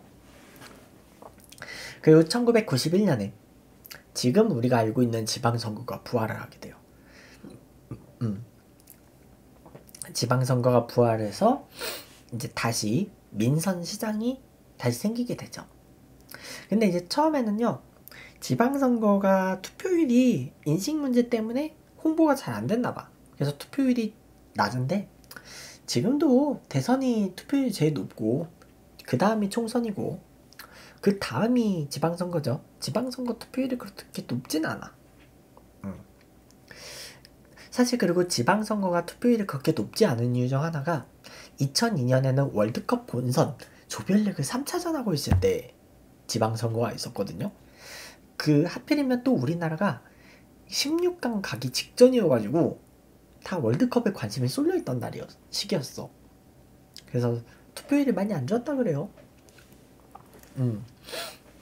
그리고 이제 2010년 2010년부터는 교육감도 지방선거에서 선출하고 있죠. 자, 그랬는데 3당 합당을 했는데도 불구하고 1992년 제14대 총선에서 이제 난리가 난 거야 내부에서 공천에서 탈락했던 사람들이 통일국민당이나 무소속으로 나가서 출마를 한 거야. 음. 그래서 지금은 이게 국회의원에서 그 공천에서 탈락하면 또 무소속으로 출마하는 사람들 많죠. 근데 대, 대, 대통령 경선에서는요 이제 당원에 정해져 있어요. 그 당내 경선에서 탈락하면 나가서 창당하지 말 이때는 나가서 창당하면 안 된다 뭐 이런 규정이 있어요. 당원들이 있어. 어쨌든 그리고 이제 국가안전기획부 잼의 국가정보원인 안기부에서 강남구 을선거구에서 흑색 선전물 살포했다는 게 들통이 난 거야. 강남구 을 그쵸? 지금 국가정보원은 저기 그 내곡동이 있는데 그 헌능과 있는 그 있는 옆에 있죠. 그 있는 옆에 국가정보원이 있는데 그 어쨌든 뭐 그래요. 그 그리고 이제 군 부재자 투표를 이제 부정 폭로한 사건까지 생겨요. 그러니까 그 당시에 군대에서는 부재자 투표를 다 시키잖아요. 지금도 그 군대 가면 그 뭐냐 그 지금도 군대 가면 좀 약간 그런 인식이 있어요. 지금도 그 군대 가면 약간 그 선거 관련 업무를 내가 말년 병장 때 한 번 했거든. 지방선거. 근데 어떻게든 부재자 투표를 시, 부재자 투표 투표율을 올려야 된다는 그 실적 압박이 있나 봐 간부들이. 어. 그래서 그 진짜 완전 그 선거 지방선거 때 휴가가 있는 말년병장들 있잖아요. 그 말년병장들 어 나 휴가 가서 투표할 할 거야 막 이런 사람들 있잖아. 그런 사람들까지 다 그냥 부재서 투표를 시키라는 거야. 어. 그래가지고 좀 그렇더라고. 그래서 내가 말년에 그 사제안 정관이랑 좀 사이가 좀 안 좋아지긴 했어 말년에.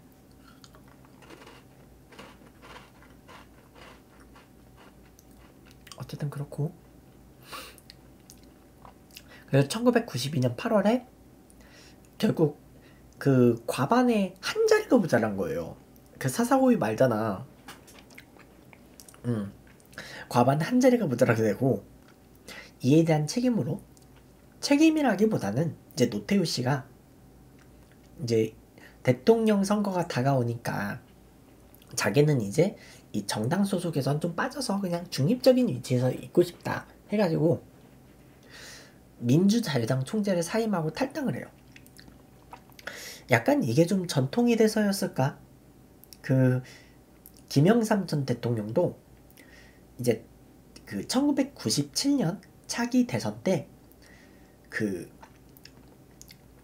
뭐냐 이회창 씨를 그 이회창 씨를 이제 새로운 총재로 그 대통령 후보인 이회창 씨를 그 총재로 추, 그 지명을 하고 본인은 신한국당을 탈당을 하죠. 음. 그리고 이제 그 신한국당 탈당하니까 그 뭐냐 이회창 씨는 한나라당 창당을 해버리지. 어쨌든 뭐 그렇다고 그런 전통이 생겼고 그 물론 정치인들이 대통령 임기 끝난다고 바로 탈당하진 않아요. 음, 다 그러진 않아. 박근혜 씨 같은 경우는요, 출당 조치가 돼요. 박근혜 씨 같은 경우는 출당 조치가 됐고, 그, 그 다음에 이명박 씨 같은 경우는 조용히 탈당했어. 그렇다고 하더라고. 자, 그리고 여기에 내가 SK그룹과의 사동관계에다가 내가 취소선을 거놨어요. 여기다 내가 취소선을 거놓은 이유는요. 곧 깨질 것 같아서. 곧 깨질 것 같아서 이제 그 사동관계가 깨질 것 같으니까 취소 관계를 넣어놨는데 취소선을 넣어놨는데 당시 선경그룹 지금의 SK죠. 성경그룹 회장이 최종현 씨인데 최종현 씨의 받아들인 최태원 회장이랑 그러니까 그 당시에는 그냥 그 SK그룹 임원이었겠지? 그 사람이랑 그 노태우 씨의 딸인 노수영 씨를 이때 결혼을 시켜요. 그래서 이제 노태우 씨랑 SK그룹이 사동관계가 되는데 그래서 공교롭게 그 이후 제2 이동통신 사업자로 그 선경이 선정이 되는데 이제 그 김영삼 전 대통령 등이 특, 특히 여당에서도 반발한 거야. 그래서 성경그룹이 아우 그래 그래 그래 우리 이거 사업 안 해. 알아서들 해. 했는데 그 다음에 이제 한국이동통신 한국이동통신이 이거를 맡게 되죠. 근데 그 그래서 이 이동통신 사업과 관련해서 한국통신 지금의 KT죠.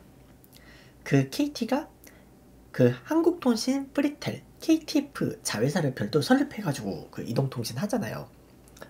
음. 그런데 음. 어쨌든 뭐 지금은 KT 아니면 SKT니까. 음. 어쨌든 한국이동통신은 이때 매각을 해요. 그래서 생긴 게 지금의 SK텔레콤이에요. 음.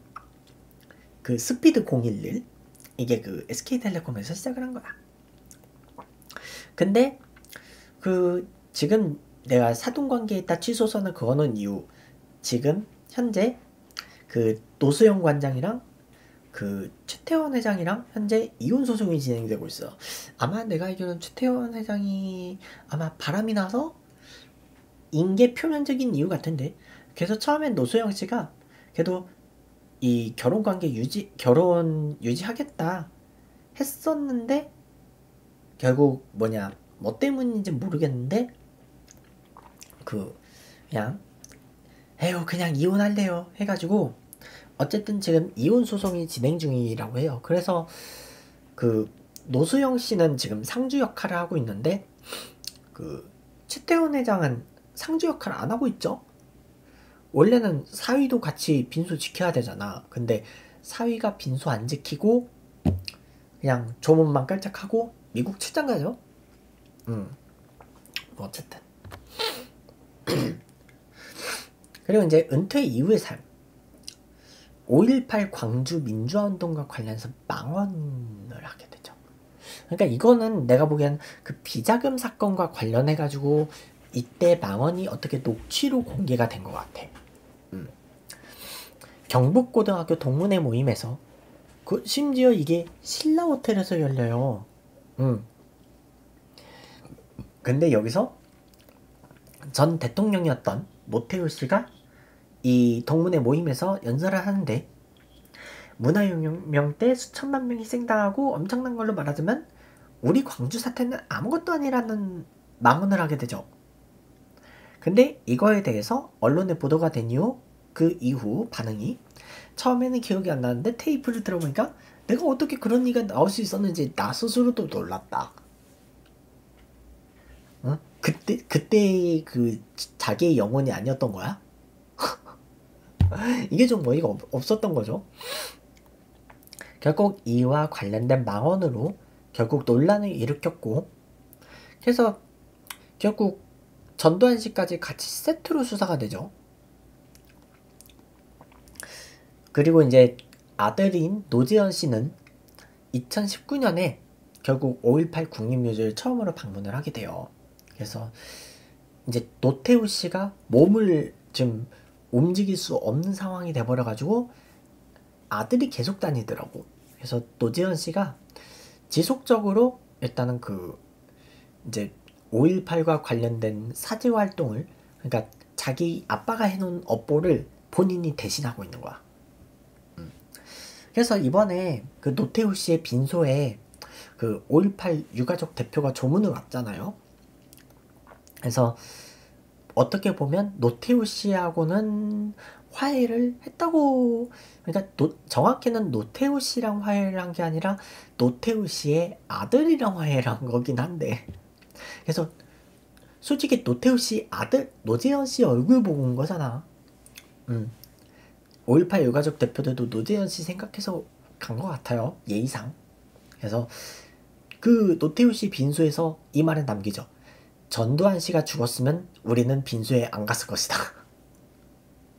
내가 보기에는 아마 진짜로 정, 전두환 씨가 그냥 지금 현재 사죄 표명 없이 그냥 이 세상을 떠나게 된다면 내가 보기에는 5.18 유가족 대표들은 전부 나갈 것 같아요.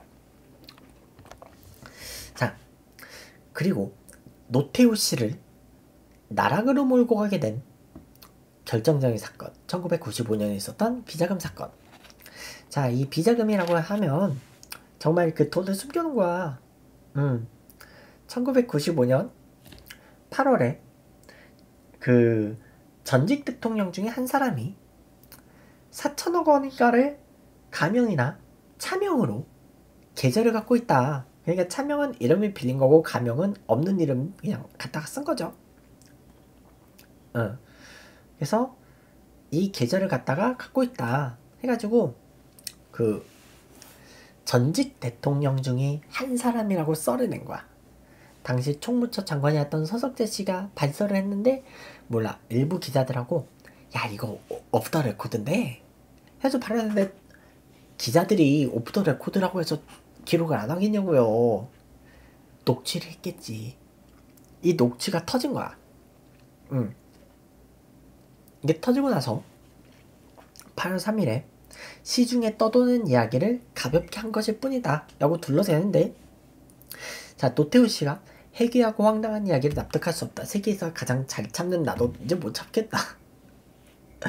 그리고 검찰들도 초기에는 아 이거 브로커들이 말장난했겠지 라고 생각을 했다고 해요. 솔직히 처음에 누가 믿겠어요? 커츠 쇼크기 커츠 쇼크겠지. 그래가지고 그 그러니까 이제 오프 더 레코드를 아무 데서나 가서 해도 안 되는 거죠 사실은. 그러니까 요즘 기자들 무서워요. 그 유명한 사람들이 SNS에다가 어떤 사진만 올려도 뉴스거리가 돼요.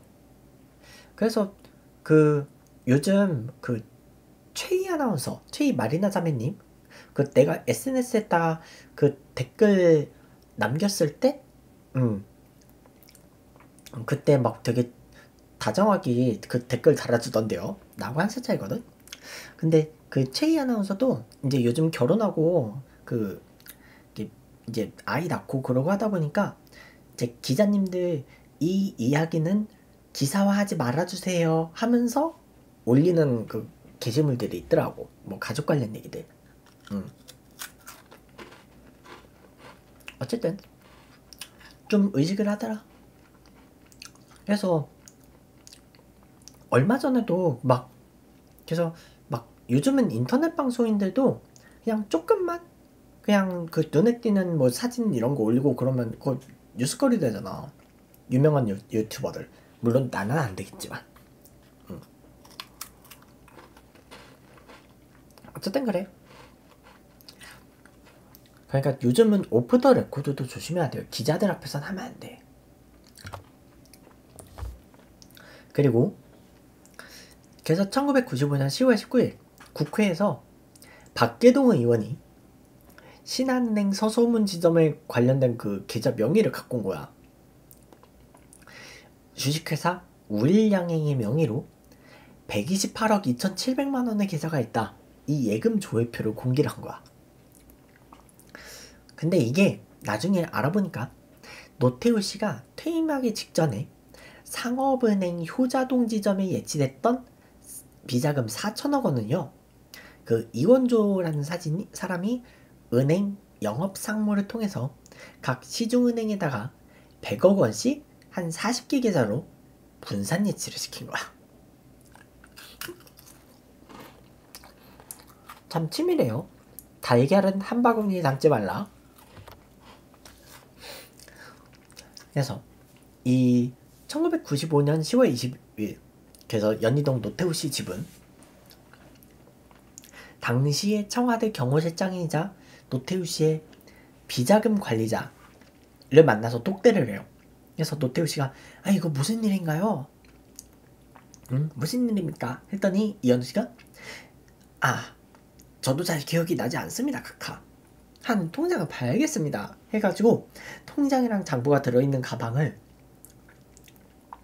진짜 한 엄청 뒤졌나 봐요. 한 계좌가 한 40개 있으니까. 그걸 찾은 다음에 아 이거 박 의원이 했던 말이 맞아요. 빼도 박도 못하게 된 거지.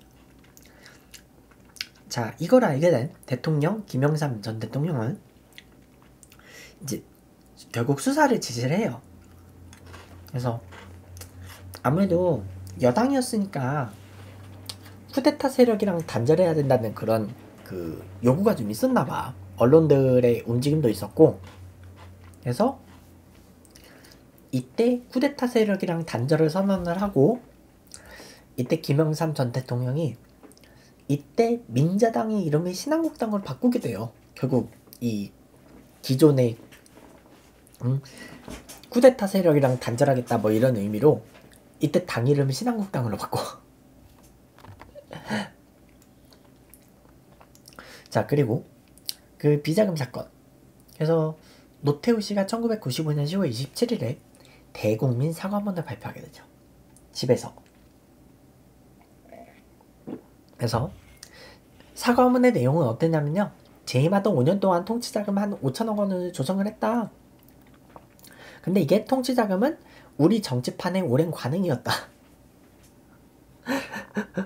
그 꿀통 같은 관행이 언제부터 된 거야. 음. 그래서 과감히 떨쳐버리지 못한 건 내 책임이다. 이런 게 있었고요. 그리고 이제 기업인들의 성금을 받은 거다. 그래서 정당 운영비, 정치활동 이런 걸 쓰고 좀 그리고 일부는 좀 그늘진 곳을 보살피거나 국가에 헌신하는 이들에 대한 격려 자금으로 썼다. 근데 그렇게 펑펑 쓰고도 1,700억 원이 남았다.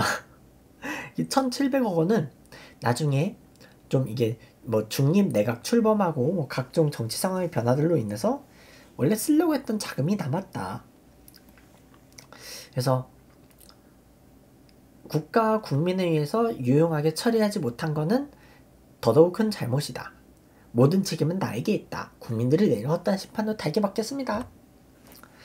했고요.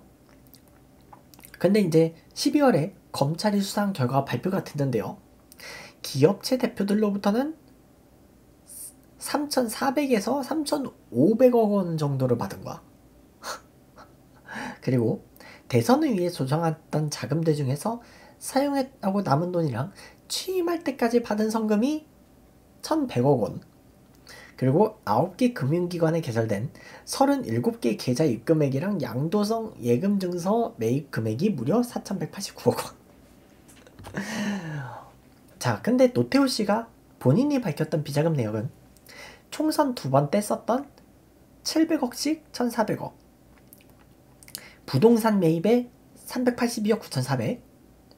그리고 민정당, 민자당 그 계열 정당 지원금 790억 3,300. 이, 나머지 비자금 잔액은 1,940억. 이거를 합쳐서 4,513억 2,700만 원. 어이가 없네. 야, 이, 이, 이 정, 아, 물론 그, 이제 뭐, 철도 건설, 뭐, 고속도로 건설 이런 예산에 한 몇 조 원 들어가지만, 솔직히 저 정도 돈이면요. 뭐 하나 큰 거 더 만들 수 있겠더라. 음. 그리고 대선 그제 14대 대선 있죠. 그 YS 그때 쓴 자금이 얼마인지는 안 밝혔더라. 자, 그랬는데 새정치 국민의 총재 김대중 총재의 폭로가 있었죠. 노태우 씨가 사과문을 발표하기 8시간 전 김대중 총재가 폭로를 한 거에 의하면 자기의 제14대 대선 때 그 김영삼 전 대통령 당선됐을 때죠.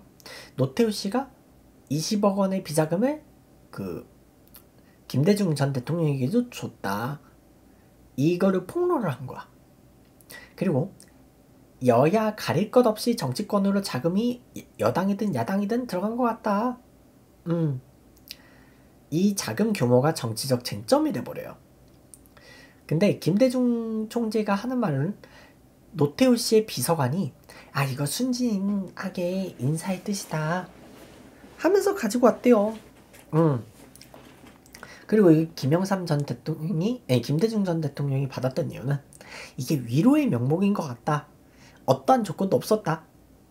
해서 절반은 당해줬고 절반은 선거 자금으로 썼다. 그리고 그 이외에는 노태우 씨한테 받은 건 일절 없다. 노태우 씨가 이 점을 명백히 밝혀주길 바란다 하고 폭로를 한 거야. 근데 이때 사람들의 반응은 어? 어머 김대중도 받았어? 소름 뭐 이런 거였어요. 그러니까 민자당 부대변이 하는 말이 아니 독립운동 한다면서 왜 일본 헌병한테 돈을 받냐 이런 얘기도 나왔고요. 그리고 이제 그 조준 전 시장이 있었던 그 민주당이에요. 김대중의 좌우명은 행동하는 양심이 아니고 행동하는 양심이다. 그러니까 이 어질 양자가 아니고 그 약간 저 양자가 다른 양자예요. 어쨌든 그리고 당시 새정치 국민회의 대변인이었던 그 박지원 전 국정원장 있죠? 아마 맞나? 음. 어쨌든 박지원 전 의원은 오늘은 전국적으로 전기가 나와서 TV도 꺼지고 신문 인정기도 안 들어갔으면 좋겠다. 어떻게든 피해가려고. 자, 그랬는데 민 오히려 여당에서 또 터, 터뜨려요. 민자당 사무총장인 강삼재 씨가 김대중이 왠지 더 많은 액수를 받았지 않았을까? 20억 플러스 알파가 있을 거다. 라고 나오니까 쟁점이 그럼 그 알파가 있었는지 없었는지 이 문제로 바뀌어버린 거예요. 그리고 이제 DJ가 폭로를 해버리니까 이제 그리고 8시간 뒤에 노태우 씨가 대국민 사과 발표를 한 거야. 그러니까 이게 이게 미흡한 변명이었다. 이런 여론이 생겨버린 거죠. 어쨌든 김대중 전 대통령이 이걸 노렸을 수도 있겠지만, 음. 그래서 그 그러니까 이게 뭐냐 김대중 총재가 이 폭로를 하기 전에 있었던 일인데 당시 당 대표가요. 왠지 우리 당의 총재인 대통령도 선거자금을 받았을 것이며 야당 지도자도 받았을 수 있는 만큼 이 부분 좀 밝혀야 된다. 해서 그럼 야당 지도자 하니까 김대중 총재도 야당 지도자잖아. 그래서 폭로한 거죠. 역공이라 볼 수 있는 거지. 자, 그랬더니 김영삼 전 대통령이 하는 말. 1992년 대선 자금과 관련된 자료가 지금 없다. 그래서 공개할 수 없다. 음. 근데 나중에 이걸 동아일보에서요. 민자당 자금이 3,034억 4천만 원이었다. 이거를 결국 폭로를 하죠, 나중에. 그 결과 대한민국 헌정사상 최초로 전직 대통령이 검찰에 출두하는 웃지 못할 일이 벌어졌어요. 그래서 1995년 11월에 결국 대검찰청에 직접 출두해서 조사를 했고 그리고 그 이후 한보그룹의 정태수 회장부터 시작해서 당시 재벌 총수들이 줄줄이 사탕으로 소환이 됐고요. 결국 배임술의 혐의로 노태우 씨를 구속 수사하기로 결정이 돼요. 그래서 그 이후로는 구속 수사를 진행을 했고요. 그래서 그 구속 수사 상태에서 이제 검찰이 한번 쫙 발표를 하죠. 그리고 이제 3차 1996년에 이제 3차 공판이 있었는데 당시 이제 재판장이 답을 내려요. 남은 비자금 2,200억 원은 그 어떻게 할 생각이었냐 하고 그 어떻게 할 생각이었는가 하고 그러니까 재판장이 이렇게 물었겠죠. 피고는 남은 비자금 2,200억 원은 어떻게 할 생각이었습니까? 했는데 피고가 하는 말이 통일 대비 과정에서 음, 보수랑 혁신이랑 대립할 거 아닌가. 그 대립이 격화될 때 건전한 보수 세력이라고 생각되는 이들에게 지원할 자금이었다. 라고 얘기를 했다고 그래요. 자, 근데 이제 그 이후 5.18까지 세트로 수사를 하게 되면서 12.12랑 5.18까지 세트로 수사를 하게 돼요. 그래서 그 당시 육군 참모총장이었던 그러니까 1995년 육군 참모총장이었던 정성화 장군 대장이랑 뭐 수경사령관, 장태환 중장 등 22명의 군인들이 고발을 했나 봐. 그래서 처음 법원이 성공한 쿠데타는 처벌할 수 없지 않는가 해서 우리한테 공소권이 없다. 음.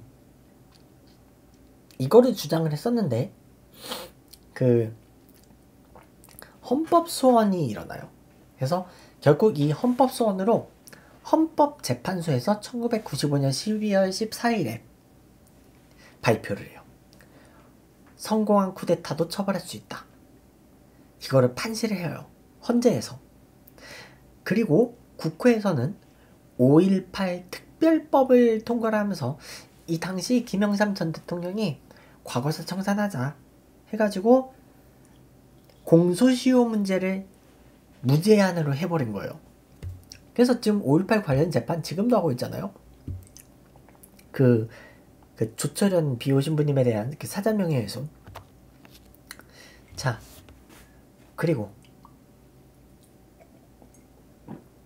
1996년부터.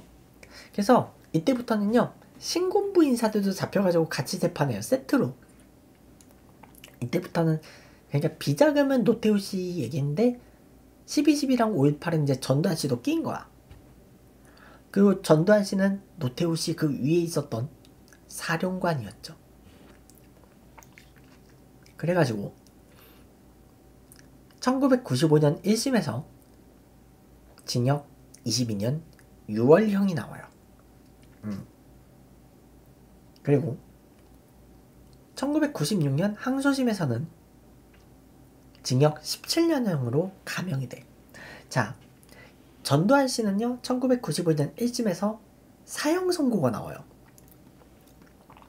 사형 선고가 나오는데 항소심에서 무기징역으로 감형이 되고 그리고 1997년 이제 대법원 상고심까지 갔는데 원 그 대법원에서는 그 상고에 대해서 원심을 그러니까 형량이 문제가 없다고 생각하면 그 원심을 유지시키고 형량이 많거나 적거나 하면 그 고법으로 다시 내려보내요. 다시 재판하라고.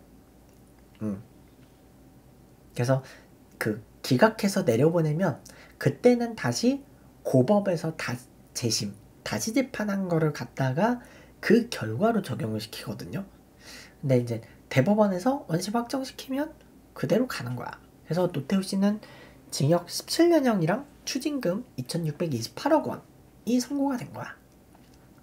그래서 금고형 이상의 실형이 선고가 됐기 때문에 기본적인 경우 이외에는 전직 대통령에 대한 예우를 줄 수가 없어요. 그래서 왔다 갔다 외출할 때 차량 경우 그리고 그 집 경우 말고는요 아무것도 예우를 받을 수 없어요. 근데 왜 기본적인 경우로 왜 시키느냐? 경우도 하면 안 되지 않느냐 하는데 경호하는 이유가 있어요. 대통령으로 그 재임하던 시절에 국가 보안과 관련된 업무도 하거든요. 그래서 이, 이 만약에 잡히 그 사고를 당해서 납치가 되거나 그럴 때 보안과 관련된 내용이 튀어나올 수가 있기 때문에 그래서 보안 목적으로 경호는 해주는 거예요. 그래서 국가보훈처에서는 이제 실형을 살았기 때문에 국립현충원에는 모실 수 없다. 라고 하죠. 자, 그래서 1997년 12월 20일 전두환 씨랑 특별 사면이 되는데요. 사실 이때 이회창, 김대중, 이인재 3명의 대권 주자들이 전부 다 사면 공약을 내걸었어요. 아, 이거 의자가 왜, 왜 이런 소리가 나지? 음. 사면 공약을 하는데 그 이 사면이라는 게 투표권, 투표권이라든지 피선거권, 선거에 나올 수 있는 거 이런 것만 복권된 거예요. 그 만기 출소하고 나서 그 뭐냐 피선거권, 출마권, 선거에 출마하지 못하는 거 이런 거 유지하는 사람들 많거든요. 정치범들 중에. 근데 이런 걸 사면을 하면서 투표권, 선거에 출마할 피선거권 이런 거는 주는데 그 전직 대통령 예우는 안 주죠. 음, 못 주지. 자, 그 다음에 이제 출소 이후. 출소 이후, 이제 1999년에 모친상. 진짜 오래 사셨어, 저분은. 음, 그래도 아들이 감옥에서 나오는 건 보고 죽었어. 그리고 2002년, 노태우 씨가 전립선 암으로 수술을 받았다 그래요. 근데 이 전립선 암으로 전립선의 관략근을 절제를 했대요. 그래서 여기에 있었던 자율신경의 기능이 급격히 떨어졌다 그래. 어, 어, 전립선 쪽 절제를 했다고 하니까 왜 내가 뭐가 좀 잘린 느낌이죠? 내가 뭐 그 심형이 된 느낌인데 뭐 어쨌든 관략근의 절제를 했다고 그래요. 그리고 이, 이 자율신경 기능이 떨어지면서 이거와 관련된 약을 먹어야 되는데 이 약의 부작용이 혈압이 떨어지고 현기증이 온다고 그래요. 그래서 각종 건강 악화로 인해서 이제 거, 공식 석상에서 활동이 안 되는 거야. 음. 그리고 이제 2004년에 노무현 전 대통령이 전직 살아있는 전직 대통령 때 다 만찬회를 개최를 하는데 그래서 이때 최규하 전 대통령부터 다 참석을 하죠. 아니다 이때 최규하 전 대통령도 아마 건강 문제 때문에 못 왔나? 어쨌든 음. 음. 어쨌든 나머지 전직 대통령들 다 왔다 그래요. 그것도 겨우 참석했고 2007년에 6.29 선언 20주년 기념식도 겨우 지팡이 짚고 와서 앉아 있었대요. 자, 그리고 그 이후에 노태우 씨가 손해 위축증에다가 결국 암이 재발을 해가지고 자택에서 요양을 할 수밖에 없었대요. 근데 이제 대뇌에는 이상이 없어가지고 생각이나 의식을 표현하는 건 가능했대요. 뭐 좀 정말 살기 그러니까 사람 안에 있는 거였지. 그리고 이제 노태우 씨는 전두환 씨하고는 다르게 전두환 씨 아직도 출진금 뭐 그 뭐냐 한 20몇만 원 있는 그 통장 그거 공개했었던 사건이 있죠. 나 돈 없어 배째 뭐 이런 거. 어쨌든 노태우 씨는 추징금은 다 냈다고 그래요. 그래서 대법원의 확정 판결 직후에 그 당시 일단은 90% 정도는 그 전부 납부했고 나머진 이자 붙여서 2013년까지 분할 납부를 했다고 그래요. 그리고 이제 건강이 너무 안 좋아지니까 이제 몸을 멀리 움직일 수가 없어서 그 2019년부터 이제 아들 노재현 씨가 그 사과 활동을 하고 있죠. 5.18 유족들에 대한 사과 활동을 하고 있는데 그것도 아들이 다 대신하고 있을 정도로 음 그렇다고 하더라고. 자 그리고 이제 2021년 10월 26일 13시 46분에 사망 판정이 나와요. 자, 공교롭게 박정희 전 대통령이 1979년 10월 26일에 저격을 당했는데 그날이에요? 음. 자, 각종 합병증에다가 투병 생활로 인해서 몸 상태가 너무 쇠약해져서 결국 이제 그 상태가 너무 안 좋아져 가지고 서울대병원 응급실로 후송이 되었는데 후송됐는데 이제 사망을 했다고 해요. 어. 아마 이제 자택 치료를 하고 있다가 코로나 때문에 아마 왠가하면 자택 치료를 하고 있었나 봐. 근데 이, 이 뭐냐 응급실 그 중환자실로 좀 가야 될 일이 생겨서 어쨌든 그 응급실로 갔는데 어쨌든 그랬다고 해요. 그 다음에 이제 국가장. 원래는 이제 국가장이 될지 안 될지 이거를 국무회의를 통해서 합의를 했는데 그 국무회의를 통해서 이제 김부겸 국무총리가 그 국가장으로 치르겠다 해서 그 발표를 했고 장례위원장은 그 보통 국, 국가장 하면 국무총리가 장례위원장을 하나 봐요. 그래서 대통령 재임 시절의 업적을 기리기 위해서 그러니까 업적은 있잖아. 그래서 예우 차원으로 어떻게 보면 망자에 대한 최소한의 예우인 것 같아요. 최소한의 예우로 국가장은 결정을 하는데 전두환 씨는 나는 국가장은 하면 안 된다고 생각을 해요. 이제 전두환 씨도 지금 혈액암 있다고 하죠. 그래서 지금 전두환 씨도 내일 모레 하고 있는데 근데 솔직히 얘기하면요. 이따가 얘기할게 그거는. 음. 자 문재인 대통령은 직접 조문을 못한다 그래요. 그래서 청와대에서 그 조문을 대신 보냈어요. 왜냐면 이제 문재인 대통령은 그 27일 그 국가장을 결정했던 그 날 이미 그 아세안 그 화상 정상회의를 하고 있었고요. 화상회의를 하고 있었기 때문에 사실 조문을 갈 시간이 없었고 그리고 28일에 바로 G20 회의에 참석을 해야 돼가지고 출국을 했어요. 출국을 했기 때문에 그 이제 조문이 안 된다고 그래요. 음. 하여간 그렇고 음. 그래서 화상 정상회의 어쨌든 그쵸?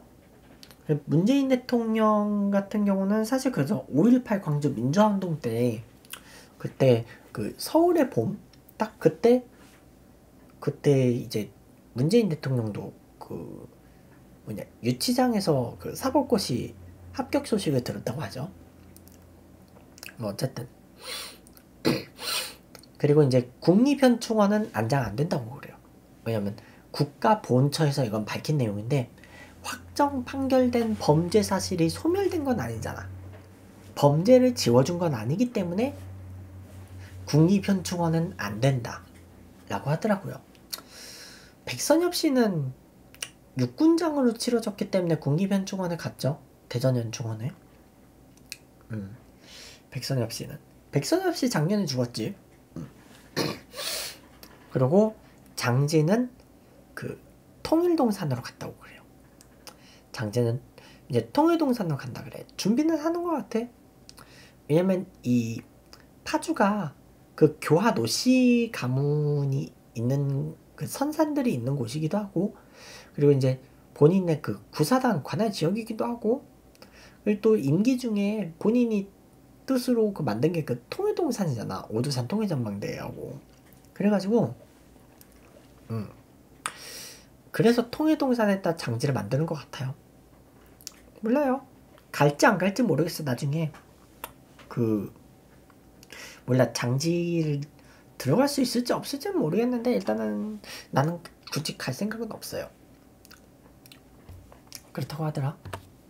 자 그리고 이제 상주는 네 노수영 노재현 두 남매가 맞고요. 그래서 노재현 씨는 영국에 있다가 이 소식 듣고 지금 바로 귀국했어요. 아마 백신 접종을 했나봐. 자가격리 안 하는 거 보니까. 근데 사실 그거야. 그 박원순 전 시장 그 서울특별시장으로 장례 치를 때도 그 아들분 해외에서 귀국했을 때 그 이제 상주였기 때문에 자가격리 안 했다고 하더라고요.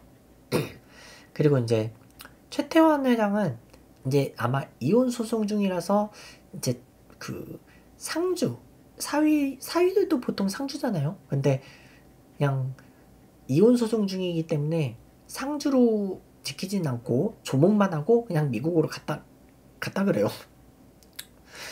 그 근데 사실 그쵸 이혼 소송 중인데 솔직히 그래도 그 뭐냐 맺어진 인연을 이렇게 법적으로 이혼은 할 수 있지만 이게 장인어른에 대한 글쎄요. 뭐 본인이 회장님이라 좀 바빠서 그런 것도 있긴 한데. 뭐 그러네요. 사실 뭐 이거는 내 너무 개인적인 가정사까지 드러내기 좀 그래가지고 그것까진 얘기 안 하긴 할 건데. 어떤 집은 뭐 이혼해도 그 뭐냐 상은 같이 치르는 경우도 있, 있다고 하더라고요. 어쨌든 음.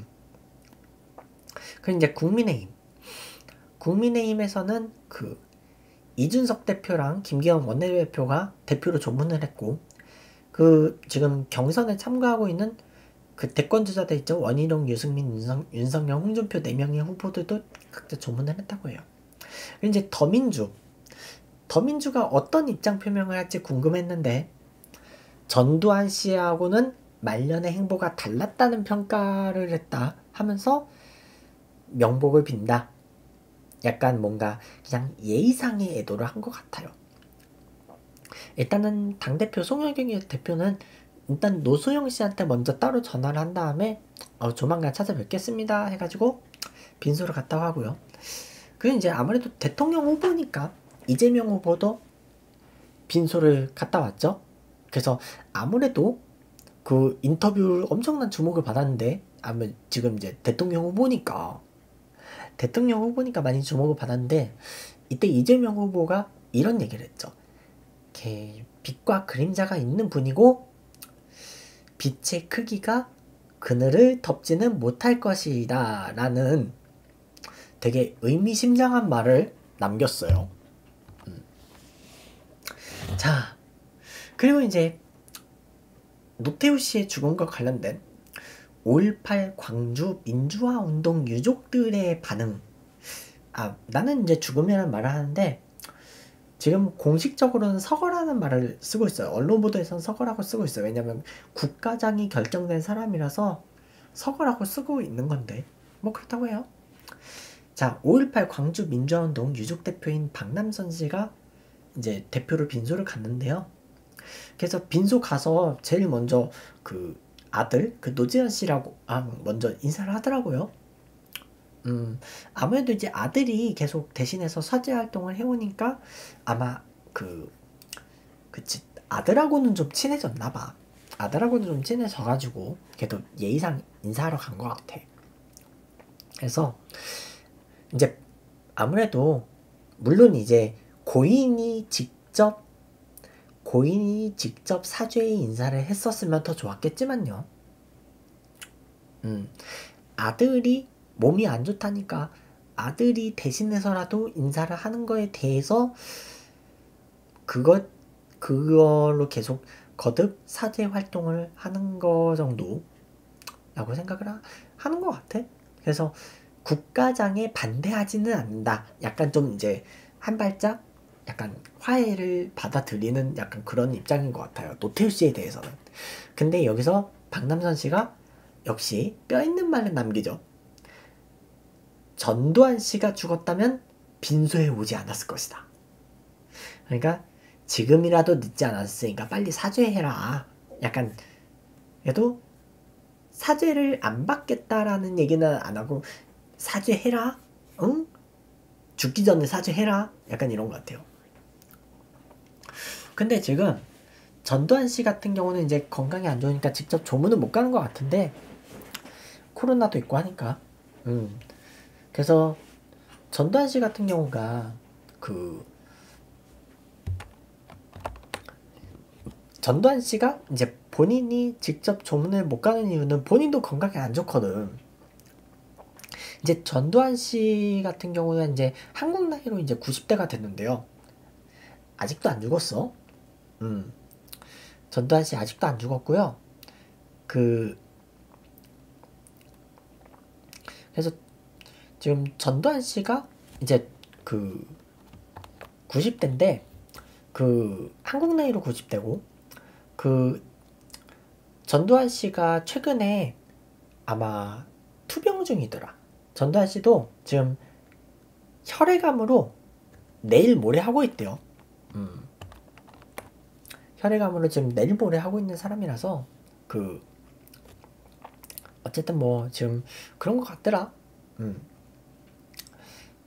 혈액암으로 지금 내일 모레 하고 있는 사람이다 보니까 그 본인도 환자라서 조문은 못 가는 것 같고 어쨌든 지금 그 유족들이라든지 아니면 각종 뭐 민족 그 민주주의 투사들 뭐 이런 사람들은 지금은 이런 의견이에요. 지금 시점에서는 전두환 씨가 죽기 전에 본인이 사죄해라. 음. 죽기 전에 본인이 사죄해라 뭐 이런 얘기를 계속 남기고 있죠. 그래도 노태우 씨는 그 사죄의 인사는 아들이 대신했다고 하지만 그래도 추징금은 본인이 냈잖아요. 뭐 몰라 본인 돈으로 냈는지 아들 돈으로 냈는지 모르겠는데 어쨌든 노, 노태우 씨는 전두환 씨하고는 다르게 지금 추징금은 다 냈어요. 꼬박꼬박 다 내가지고 그 추징금은 다 냈고 그 그러니까 어떻게 보면 추징금을 다 낸 것으로 그 일단은 법적인 죄값은 다 치렀다고 볼 수 있는 거죠. 법적인 죄값은 다 치렀고 사실 근데 나도 그래요. 이게 솔직히 국가장으로 치르는 것까지 솔직히 좀 찝찝하기는 해요. 물론 이제 아무래도 올림픽을 개최를 책임을 졌던 대통령이니까 그 시대의 대통령으로서 대통령으로서의 업적은 분명 있어요. 그러니까 그리고 이제 6.29 선언으로 직선제를 수용을 하기도 했고 그런 입장에서는 국가장은 좀 찝찝하기는 한데 국가장까지 반대하기엔 좀 그렇지 않을까. 이거는 내 개인적인 생각이고요. 그러니까 국가장을 반대하기 힘들 것 같아요. 아무래도 이제 그 정계에서도 정치권에서도 그 약간 국가장까지 반대는 안 하는 것 같은데 뭐 그쵸. 음 근데 솔직히 좀 안타까운 건 그거예요. 살아 생전에 노태우 씨가 본인의 말이라든지 본인의 그 손편지라든지 이런 걸로 직접 본인의 뜻으로 직접 사죄 표명을 했으면 어땠을까 라고 생각을 해요 나는 그래도 본인이 움직일 수 있을 때 직접 사과했었으면 어땠을까 하는데 근데 지금은 약간 노태우 씨가 그러니까 얼마 전까지 그랬나 봐요 노태우 씨가 본인이 그 기나긴 사과문을 직접 읽을 정도의 힘은 없었나 봐. 그래서 이제 노대원 씨가 아버지 광주 갔다 올까요? 말까요? 그러니까 갔다 올까요? 하니까 갔다 오라는 눈짓으로 약간 뭐 끄덕끄덕 뭐 정도는 했었나 봐요. 뭐 들리는 말에 의하면. 그래가지고 뭐 그런 거를 토대로는 뭐 그래도 말년에 뭐 돈은 다 갚았으니까 추징금은 다 갚았으니까 좀 그쵸 본인이 직접 사과 인사를 전했으면 하는 좀 아쉬움은 있어요 죽기 전에 본인이 직접 사과를 하지 하 라는 아쉬움은 있는데 이 그래도 아들이 대신 사 그러니까 어떻게 보면 노태우 씨가 살아서 다 갚지 못한 죗값은 내가 보기엔 아들이 대신하고 있는 것 같아요. 어쨌든 원래 그 노재현 변호사도 원래는 한 1990년대까지만 해도 정치 활동을 하려고 했었대요. 그래서 그 민, 민주자유당에 입당을 했었고 그 나름 그 당원으로서의 활동을 하고 있었는데 이 노태우 씨가 구속 수감이 되면서 그 노재현 씨도 그에 대한 책임으로 하차를 한 것 같아요. 그래서 그 이후에 그 아무래도 계속 그 시선이 쏠리는 것 같긴 한데 일단은 노재현 변호사는 본인이 정치를 할 생각은 없다고 해요. 내가 보기에는 아무래도 자기 부친에 대한 업보를 업보를 아들이 마저 그 가족으로서 죄값을 마저 다 치르겠다는 생각인 것 같기는 해요. 그래요. 음. 본인이 정치에 안 나서겠다는 그 정도로는 뭐 그러네. 어쨌든 뭐 본인 생각으로는 좀 그 하는 것 같아. 글쎄요. 그러니까 좀 찝찝해요. 음, 찝찝하기는 한데 그래도 노재현 씨, 노재현 씨의 그 지금 행보로 봐서는 그래도 가족들이 죄값을 대신 치르고 있는 것 같아서 일단은 그래도 최소 전두환 씨처럼 지금 전두환 씨 지금도 땡깡 부리고 있잖아요. 그 광주에 그 재판 출석하고 막 그러는데도 광주 가서 졸아 때문에 어. 그래가지고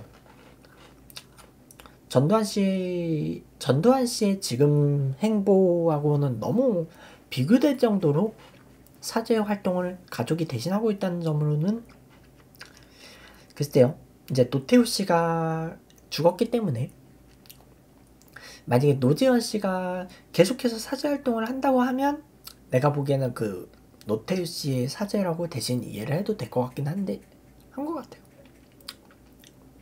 좀 찝, 여전히 찝찝하죠. 끝내 본인이 직접 사과를 하지 않았다는 게 좀 찝찝해. 뭐 어쨌든 그쵸.